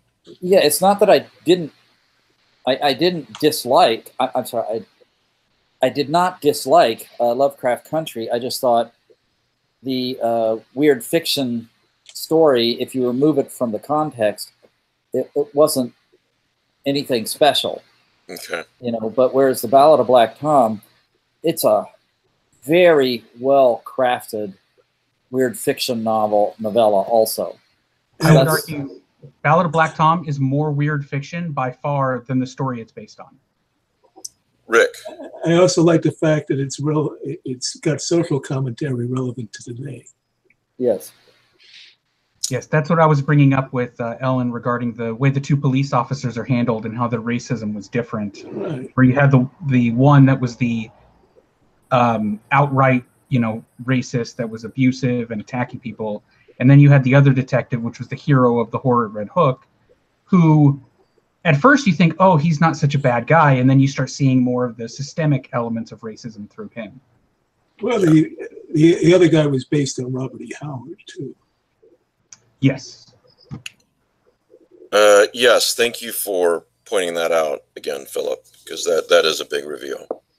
Heard it here first. Yes, you heard it here first. Zachary Quinto and Ashleigh Cummings to lead AMC's NOS4A2 series. Yeah, I don't get that at all. Why? Because he's not old. He's a young man. Oh, And- wait, He is a young man, yes. In NOS4A2, what uh, Manx is an old man. He's so I'm, I guess they're maybe they're just recasting or re reimagining Manx, Charlie Manx. I don't know. Maybe there's some makeup involved. But but okay, then I then I cry, I cry ageism. Why can't old people play old people? Damn old it. people should play old people. Hey, if uh, you know what's her face, the Black Pumpernickel, Scarlett Johansson can't do whatever she wants to do. I don't know. It just seems if you're gonna if you're gonna have a guy who's who's 70 years old, uh, cast a 70 year old actor. Yeah, that's the st- now. It's been. A, I mean, I haven't read the book since it came out, but I remember him. uh, He's technically he's over hundred. Then he Right. de-ages to like seventy. Right, And- Christopher Plummer would be good as Charlie Manx. You know, Max von Sydow's probably not doing anything. He's about just the right age. Is he alive still? I don't think he's alive. I, I- so I don't think he would take any calls on that. Sean Connery is uh, alive, but I believe he's uh, inaccessible to the public. Well, the He's, last he's retired. Yeah. last movie I saw Max von Sydow in was in The Force Awakens. He he's still alive. He's in his eighties, but he's still alive. Uh, God, I loved him in uh, what was it? Uh, that Robin Williams afterlife story. Oh, what dreams may come. Yeah, I he was still great in that. I think of him as in the Seventh Seal, Wasn't he in Strange Brew? Yes, as well as he Conan. was the Bond type villain in Strange. Brew. Strange Brew. That would- no, that's a film. Uh, That's I'll always remember him for The Exorcist, of course. Well, anyway, if you're a fan of NOS4A2, NOS4A2, the book, it, it's going to be an AMC series. So if you didn't know That's- that, you know that now. That's AMC Yeah. as well, huh? It's, So- it is AMC as well. AMC is snatching up horror. That's interesting. I guess Well, who- Walking Dead. Who wrote the book? I'm only familiar with Joe Hill. Joe Hill, yeah. Okay. Uh, Derek Mears cast as Swamp Thing in the upcoming DC Universe television series. This is the guy who played Jason Voorhees in the 2009 Friday the 13th reboot. He's also played a Predator and many other aliens and creatures of the night over the course of his career. I am reading from HorrorNewsNetwork.net. So, I don't know. Are we looking forward to the Swamp Thing television series? Are we looking forward to DC Universe at all? Now, is this the DC digital platform or it's Yes. only Yes, subscription it's only? Oh. Yes, it's sort of like uh, Hulu or whatever, but it's. I I don't think I would pay twenty bucks a month to watch DC's original content. Well, the, here's the problem. I would, but there's not a lot of original content. It went live the other day. I loaded the channel onto my Roku. I pulled it up, and because I was like, okay, I'm going to watch Titans. I want to see what this is about. Titans is not on there. It's not available until October. So you got like the Wonder Woman, the 70s Wonder Woman, you got animated series, and then you got a bunch of comic books that you can read on your TV, which Mm, no, thank you. I, I mean, I I love reading comics on my Kindle from Comixology, but I'm, I'm not going to read comics on my TV. Come on. That's And- pushing and I- it.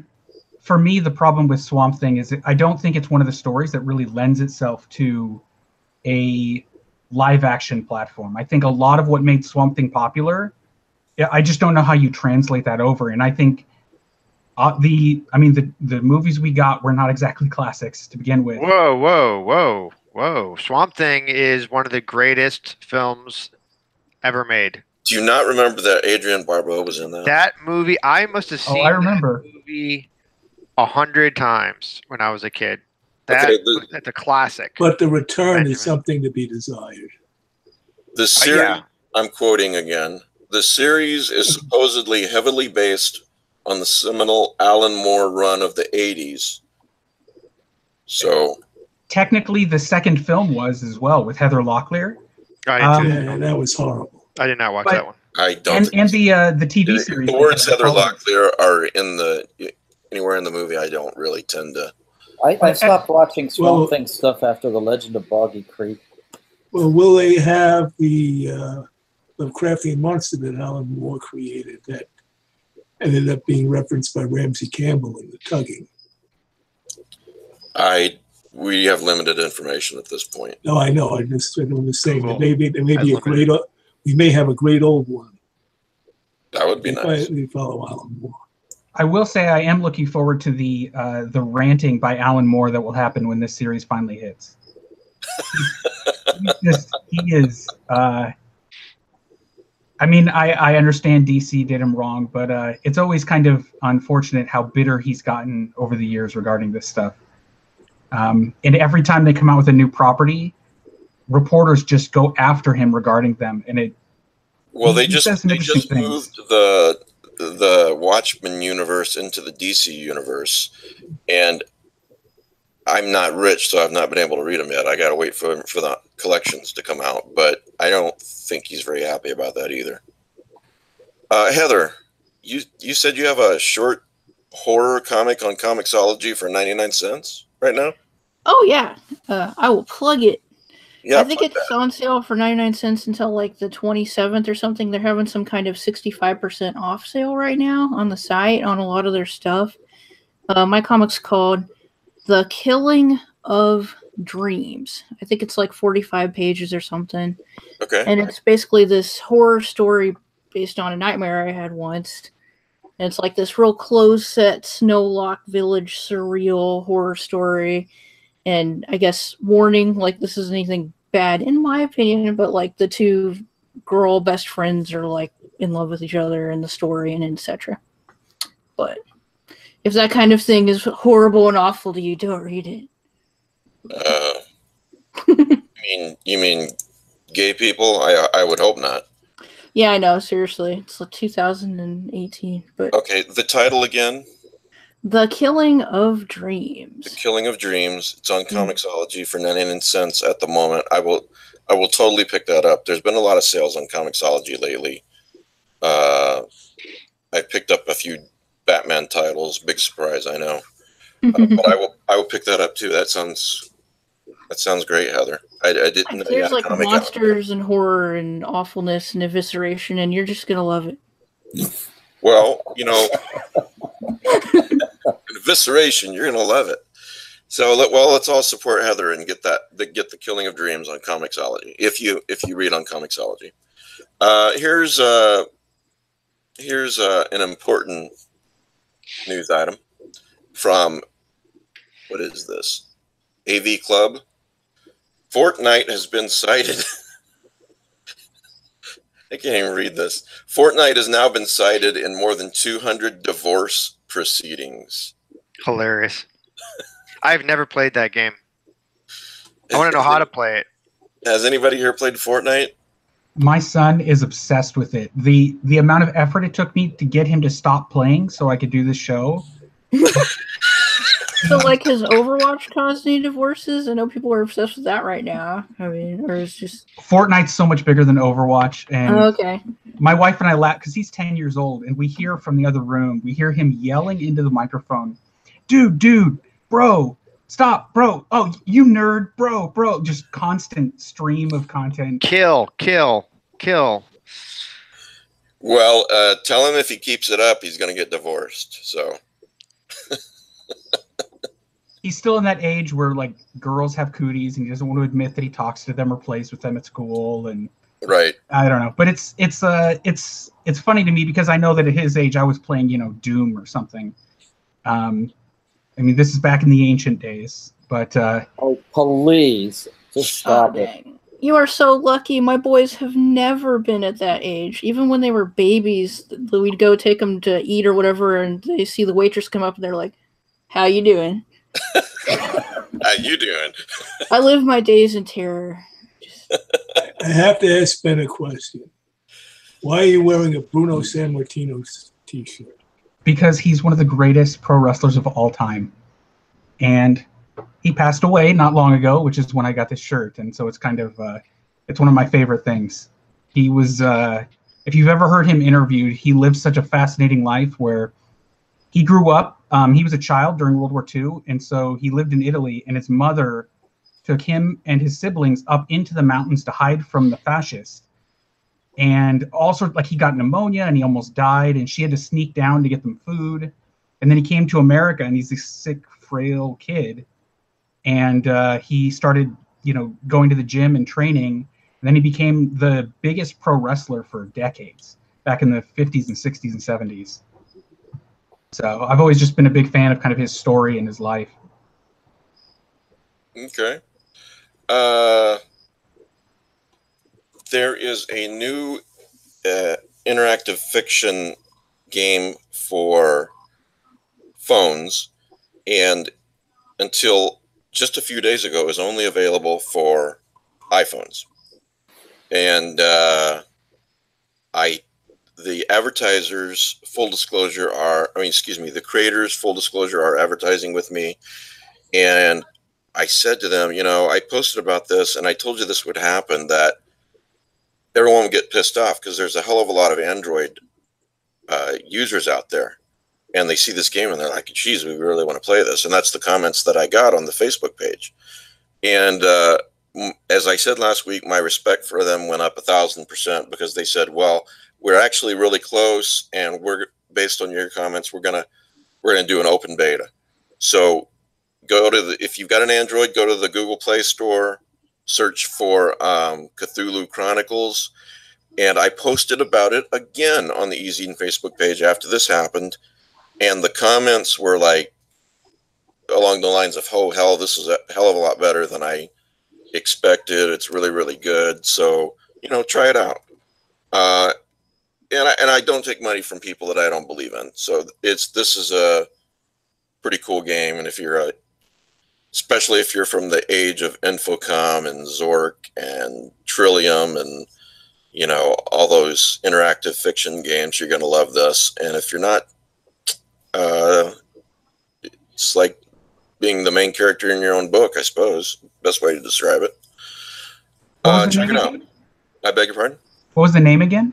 The name again is Cthulhu Chronicles, and is now available on Android and for iPhone. So, uh, and every comment I'm getting, public comments, um, unsolicited, are that this is really, really good. And uh, so, uh, what else do we have to talk about? Um, anything, guys?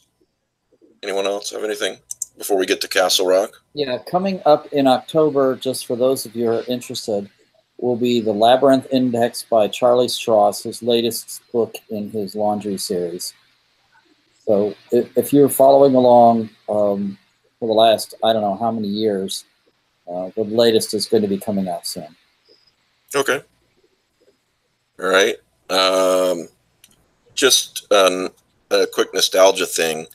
I read this uh, uh, Strange Origins comic when I was a kid, uh, 1987.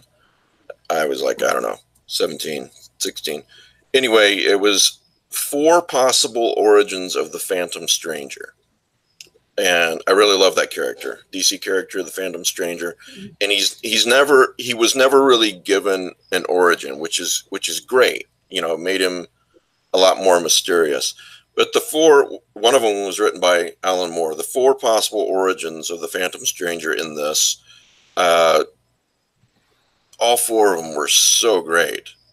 Um, you know, if you're if you're into the Phantom Stranger or just you know a comic geek like me, check that out. It's on Comixology. I think it was just a dollar ninety nine. Um, I don't remember which Strange Eons it was, but you could just Google Phantom Stranger, you know, four origins, and you'll get the title, and then from there you could go to Comixology. So, with that said, and everyone disinterested in probably what I just said. No, not. I actually I agree with you. It's a, it's a great comic. Um, I, I mean, my memory is going. I thought it was a Secret Origins issue, but I'm It is. It is. Okay. Yeah. Yeah, it's um one thing I will say is you don't have to be familiar with the character at all to enjoy the the comic. It's it's really um I don't want to say too much more about the actual content because it's there's not really anything to spoil, but it's really enjoyable to kind of experience it firsthand. And philosophical, and Yes. uh, I don't know. I, I just really, really loved it. I, I posted about it on my personal Facebook page, and you know, I got a lot of. I didn't think I'd get any comments. I got a lot of immediate comments. John Langan was like, "Oh man, that was a great one." So I think it resonated with a lot of people. Um, so anyway, uh, Castle Rock. If you've not seen all episodes of Castle Rock, you might want to turn us off at this point, and then we're gonna end the show after we talk about Castle Rock. So has everyone here seen it or not care? Um, I haven't seen it, but I don't mind. Okay. Spoil me. I don't. I Well, don't. I don't even know if we can really. every time you come on the show, Heather. I don't know if we can really call it spoilers because it's not like we can tell you what happened. yeah, exactly. You have to actually know what the hell happened in order to spoil. So I was for about to say, somebody tell me what the fuck happened. Yeah. Well, you know, Uh, I, I got a theory about what happened. Okay, go. Okay. We've got these guys traveling back between Earth 1 and Earth 2, two parallel Earths. I think that whenever a guy travels who's who's not native to, to the Earth he's going to, he gets possessed by a, a lurker in the gateway. And that's why the kid turned into a demon. It was Henry. And what, what the uh, demon was trying to do. He wanted to bring the white Henry Deaver back to his own dimension, but he, if you listen very carefully, he wanted the black one to go with him. So, so that would have been his new body if they went back to Earth too. Okay. I mean, that's that's better than than what they hinted at in the episode itself. Yeah, it's better than what we got. Philip? Well, I mean, I don't. You know, I don't know. I mean, I've been I've been down on this show from the get go, and since episode six, five or six or so. But um, I think they just kind of did what they did with Lost, which was they just kind of thought they would sort of tell, a, you know, meander along with these characters and make weird things happen, and th- keep teasing, keep teasing, keep teasing, and then not really know where it was going. And Introduce characters that never went anywhere, like the couple from, yeah, from Iowa who Yep. turned into serial killers. I mean, th- th- then you never see them again. I mean, what the hell? or characters that that introduce storylines that didn't go anywhere. Um, and it it just was like a it was a mess. It was a from a from a story perspective. I don't want to get into the acting. I don't want to get into the production value because I think those are exceptional. But from a storytelling perspective, it was a hot mess. They did. It was not a story. There was no. There was no beginning, middle, and end. There was no resolution. There was And- no plot. there was no plot. And to make it even worse i posted on the i don't know i think it was on kelly young's facebook page the other day. I posted that article where they interview the creators and writers of the show. They freely admit that they have no idea how the what, what was happening they admitted in the interview they were like it's up to the user it's up to the reader to come up with their own interpretation for what happened which is like the worst thing you can say and and I'll say this. I was talking, you know, Kelly and I were talking about it the other day. And I think there was a time in the old network days when this kind of thing would not have happened because the big bad, you know, creatively stunted, you know, executive from the studio would have who's paying for all this would have stepped in and said, guys, you need to have a clean story, you know, through story here. And I think what guys like Hulu and Amazon are doing is they're just sort of giving the artist carte blanche, um, and to its detriment in this case. Uh, this was a scenario where, you know, they stuck Stephen King's name on I, this, I, this uh, whatever this, you know, yeah, Stephen King's name wasn't on this. If this wasn't Castle Rock, if it was like nowhere Minnesota, Right. who would be interested? nobody and it would still it would make even less sense the only thing they could which really which is really too bad because they plugged and plugged and plugged and plugged that this is the stephen king story and every advertisement they had was like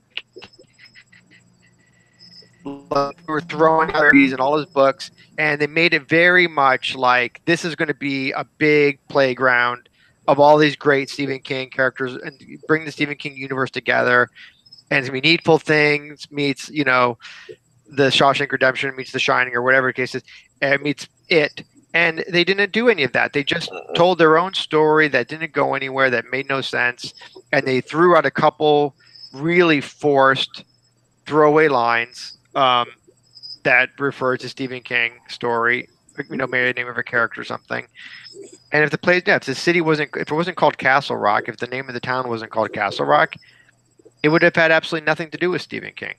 Right. That's J.J. Abrams. That's what he does. He takes a mediocre story, he throws a huge name on it, like Cloverfield, and he and he sells it. And he's a he's a you know he's a snake oil salesman sometimes.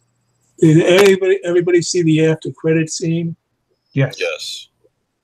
For- So I mean, it wasn't. Uh, it, I mean, uh, uh, I don't mean to interrupt, but I would say that after credit scene is exactly what Philip was just talking about, where they're they're throwing random Stephen King references and comments yeah, ri- right on the nose, like, "Oh look, she mentioned using an axe.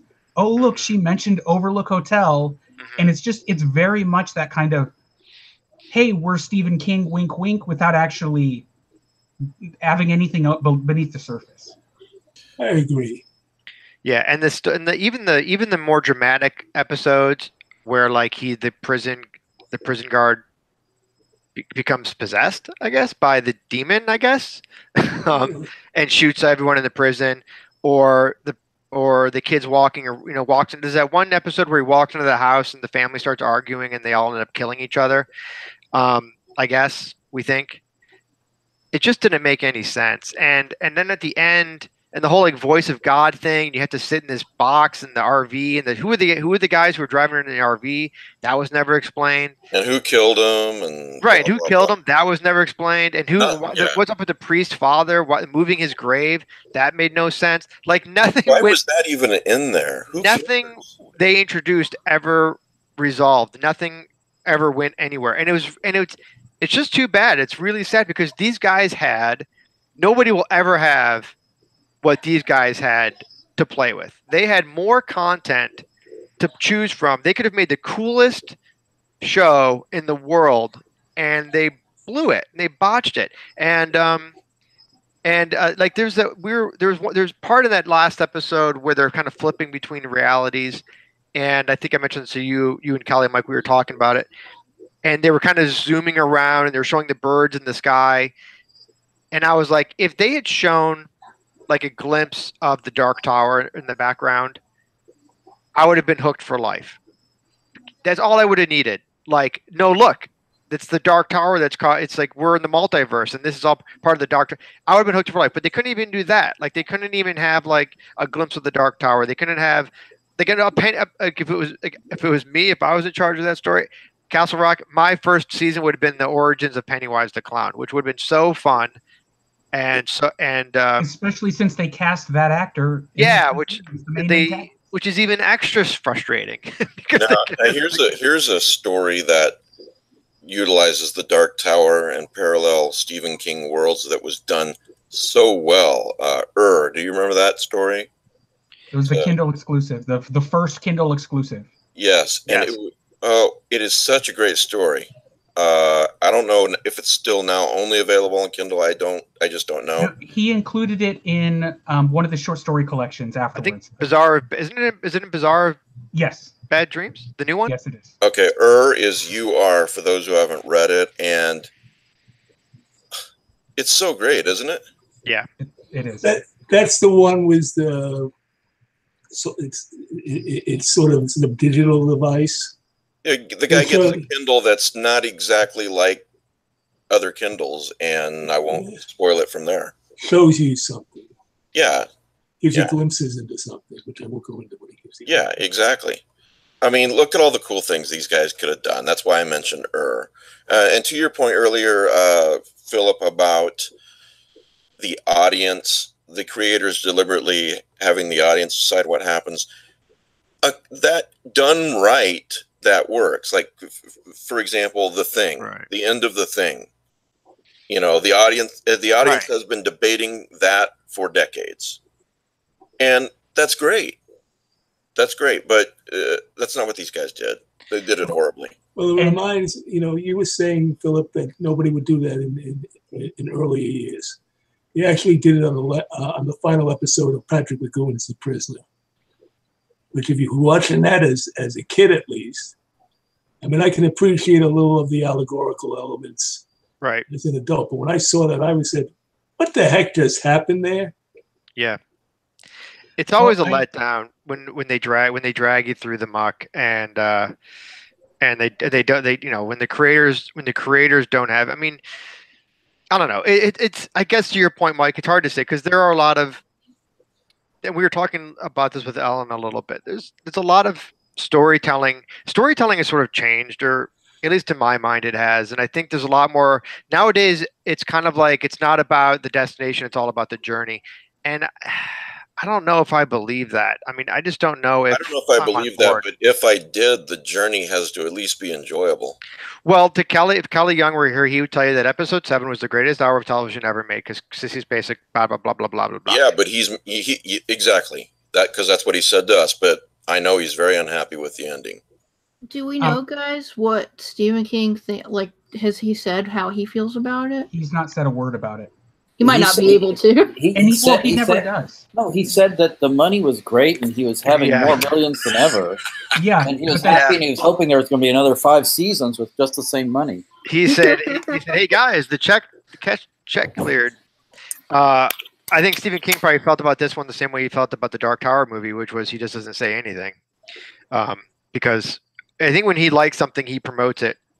Yeah, when he heavily. doesn't of his own coming from his own stuff, he says nothing. Yeah, he like he promotes um he promotes the um whatchamacallit, uh, Mr. Mercedes series a lot. He's he I know he's a fan of that because he talks about it like once a week. He he pl- plugs it. I haven't seen it, but um Kelly has. Kelly loves it. yeah, he seems to plug it a lot. And that's I mean that could be reading into it. I don't know Stephen King, but it, it, it- yeah, to you know He's the a thing friend with of a friend, which means friend I don't know him. he is a friend of a friend, oddly. But um Of The- me, of me too. Yeah. Yeah, I think it's um I think it's a weird thing, and I'm and they're they're doing a season two, and and they and the one thing they did say in the interview that like we always saw this as being like American Horror Story, where each season will be its own contained story. And of course, my immediate response was, well, you have to have a story to be contained. But, um, but yeah, it just a, but it's even more disappointing that not only did they not finish telling this story, I thought they were going to kind of at least keep. I thought maybe this story was going to keep going, but I guess it's not. That's it. What we just saw, that's it. That's the beginning, middle, and end of whatever that was, and it's really disappointing. And and and Henry putting the other Henry in jail again, in below the prison, just uh, it kind of it just sickened me. It was a terrible ending. And you don't know why the first warden killed himself. That was never really explained. It you was Don't, you don't know why, and it was just and there was just also just bad TV throughout. Like when this where they really jumped the shark for me is when Henry broke into that the house, the the the where the murder couple was living. When he broke, he was like, "There's something," and it was like the most stupid reason in the world. It was like, "There's something about this house I need to know." And he went and he then he's like breaking into people's homes and like digging through their drawers doesn't and stuff. arrested. He never got arrested. That guy could have. He was like he was at like six murder scenes. He broke into someone's house, and Well, he did. Maybe he they arrested maybe, him in the last episode. They Did just they? yeah, that was You know what? But the- then you know what? That brings up a drove good away. point. In the last episode, he got arrested, and then it skips to one year oh, later. Oh, right, it right, never explains why he was cleared. Well, they all all the policemen were killed, right? Yeah. So there the was How no does that sheriff was dead. there was no more police in the town, so they just let everybody out. Oh, Jesus. And Well, they probably they probably had no record of him getting arrested. After when- when- whatever happened in the last episode, whatever happened with all the carnage. I'll tell Look, you what. When it comes If- to leaps of you know, If there's a season two, I won't be watching. no, I won't be watching season two either, unfortunately. And if I'll there's a season two, uh, why in the world would there be a season two? I don't I'll They- say they- I mean, they, they paid for it. I looked up so um, a lot of what Philip said about the ending. You know, the writers were just like, "Oh, it's it's a smart ending. We want our viewers to think." So I went back and I remember when Breaking Bad ended, and people were scared that Breaking Bad was going to end like Sopranos because that was the current trend. And Vince Gilligan, um, he actually said specifically that he would not give his fans an ending like that because it wasn't fair to them. You've invested all this time in this story, Right. and then to cut them out and to just oh no you don't you don't need to know what really happened you can you can come make that up for yourself he said there that needs to be a payoff for Right. all the time spent. Well, yeah. What happens? What? I'm sorry. I'm sorry, Benjamin. Go ahead. well so yeah it's just so he said that well that wasn't fair to his fans and if you look back sopranos was considered the greatest tv series of all time and then after that ending no one talks about it people felt disappointed and when you're disappointed by the finale you don't care about the rest of the show True. Breaking Bad, people talk about Breaking Bad to this day. They, because you got you got what you asked for. You got a you may not have loved the, the what happened to the characters, but you got an ending to your story, to that investment in time. And I think with these writers, I think it's a trend. And with these writers, they have a history of it, unfortunately. And gosh, I mean, it's they had, as as Philip was saying, they had such great source material. And I thought that at the very end, they make a mention of Wilma Jerzyck, and it's the first outright statement they make regarding Needful Things, and they don't even get the reference right. They reference her as though she was a different character. Both of these characters had died. It literally felt like someone just went to the Stephen King website, saw the list of characters for Needful Things, because that's an actual page on there, and just randomly selected a name. Hey, this is a girl. We're gonna have her talk, you know, have them talk about petunias. It felt like they had no actual concept. Maybe they read The Stand or something, but they didn't. They, I don't feel like they were familiar with the actual source material at all. They saw The Shining, they read maybe one or two books, and they used Google for the rest of it. It really felt like that, especially in that finale. Yeah. Yeah, I just think I to Benjamin's point, it feels like there's a little bit of a trend where writers are just trying to be. It's like they're trying so hard to be smart and intellectual instead of just telling a good story. And I mean, I think The very first Westworld rule is that suffers from this. entertain and tell a story. Yeah, Westworld suffers a lot from the "look how smart we are" syndrome. Um, And But even even Westworld gave you a finale of some but sort. but it works. At least it worked. Yeah, it there was, it did make sense. You, you had to kind of really dig, you had to work for it, but it did make sense. Lost is a s- Lost is a, made no Lost made no sense. Lost was like a thousand red herrings, um, and uh, And uh, let me throw in Kelly loves that show. Every time we mention Lost to him, he tells us how what idiots we are because we, we don't like the show. So Yeah, that's another. That's well, that shows. I mean, Lost was the big. Lost was the big show where they everybody was up in arms because everyone wanted to know what everything meant, and you never find out what anything meant. And um, they didn't know. right, they 'cause they didn't know. No, they said in interviews, literally, they said they didn't know that they didn't have a plan, and Nope. they were just sort of playing it by ear. Winging it. And the it's te- so satisfying. Sorry, Rick, I'll go right back to you. It's so satisfying when you go back and you see see things, you see clues, and you're like, "Oh, that's what that meant." You know, all Yeah. little payoffs. It's so satisfying, and you don't get that with Lost. You don't get that with No. with uh, Castle Rock. Sorry, And that's Rick. screenwriting 101. or always tw- the return of Twin Peaks, which gave me a whole season with nothing, with no major question from really the first se- from the fir- first run of the series was really answered. Yeah. See, but Twin Peaks to me was a show that was definitely about the journey. I didn't watch Twin Peaks because I wanted to know who killed what's her face. I watched Twin Peaks because it was such a beautiful show and so quirky and so weird, and so I, I gave it I gave it a bit of a pass. But finales are hard. I mean, Seinfeld was a disaster. Yeah, Sopranos was a disa- an epic disaster. Um, you know, these are shows that are like heralded as the greatest ever made, and uh, it's hard to land on your feet. It's a real. I mean, it's a real.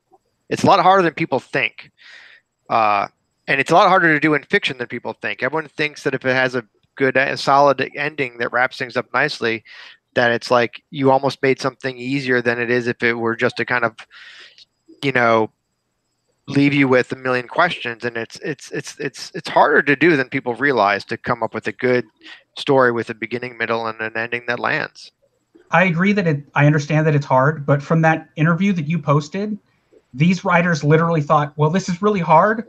I'm just not going to bother."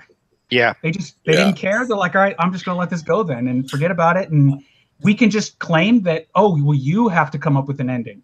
Yeah. You're putting that onus if on you the were viewer. as smart as us, you would know what this meant.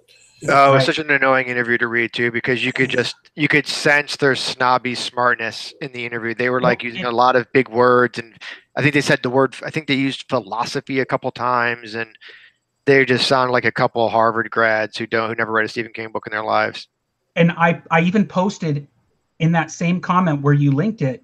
I I said they were going to say that hours before you posted that link. It was you could see as soon as I watched that ending, I knew that you were hundred percent right back when we talked about this after episode seven, and it was like, nope, yeah, they had no idea.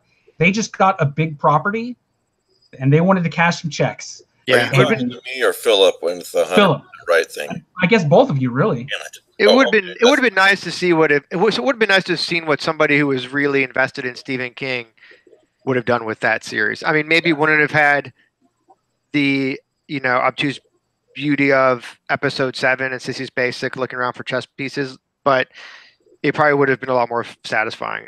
They even said with that episode that is there any functional difference between her actually drifting through time or, uh, you know, uh, having uh, sorry, Alzheimer's. Alzheimer's. Having what you call Yes, it. there's a functional difference because you can change things if you're actually Yeah. drifting through time. Well, and Yeah. they're looking at it as directors. If you're directing the episode, there might not be a functional difference. If you're anyone that cares about what's happening in the story at all, then yes, it's that's the stupidest comment.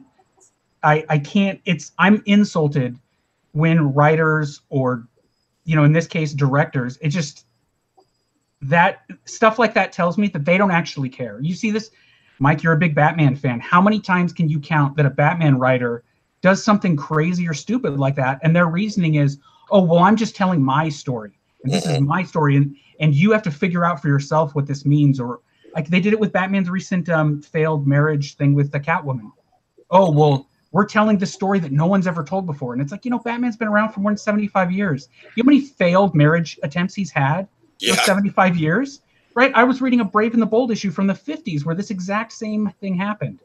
But they don't actually read all that stuff. They don't they don't actually care. They're just putting out whatever the latest piece is and then they want to sound smart. Yeah, and they want to cash the paycheck. Well, let's hope that the Dark Tower television series, when it, and if it ever comes to fruition, will be more satisfying for Stephen King fans. I want a Duma Key television series. That's what I want. Uh, that's a that's a fantastic book. That's one of my favorites of his. It's very underrated. Stephen Very King underrated. book. Yep. It's probably the tenth time I've mentioned it on this show. Yeah, you and me, you and me both are on the same page with that one. I love that book. I, matter of fact, it deserves a re. I need to reread it. I haven't read it in about ten years or whenever it came out. So God, it's it's just so great, and it would just be, it would be brilliant as a limited edition series. mhm. So, uh, anyway, uh, we'll end up with someone on the message board wrote, "I'll never forgive Jar Jar Abrams." So that's that's a great point to end on. Uh, next week we've got Tim Waggoner, uh, and then the week after that Brian Hodge, as long as he can make it. Otherwise, we'll make it one of those shows where we yak about anything and everything, like we just did. I'm reading Tim Waggoner's That we do novel. it for longer. I'm reading Tim Waggoner's novel right now. It's so far very good. The Which Flame- one? His new one from Flame Tree Press, The Mouth in the uh, the Mouth of the Dark, I think it's called. Yes, and he also writes a supernatural. He's written several supernatural um, novels. There's a lot of tie-ins, yeah. Yeah, yeah. So uh, And he's a and he's a teacher. He teaches creative writing. The Mouth of the Dark is the name of the book by it's Flame Tree Press. Yeah. So Tim Waggoner next week, and um, everyone, thanks for listening. Uh, if thank you to all the patrons who keep me going. Really, truly, uh, I don't make a lot of money, uh, barely anything for all of this. My wife's a teacher, and you guys really keep me going. So uh, if uh, I'm going to post that uh, Knifepoint Horror podcast interview tomorrow sometime, and it's only five dollars a month. If you're not a patron, you know, get on there and you can listen to that one and um, all the previous ones. Just Google Lovecraft eZine Patreon. And thanks to you guys for being here. Appreciate it. Thanks So- for having us. yeah. So thanks, guys. And it's Heather. What's the name of that comic again? Oh, um, The Killing of Dreams. Killing of Dreams. I gotta I gotta buy that after I end the show. So all right. Thanks everybody, and we will see you next week.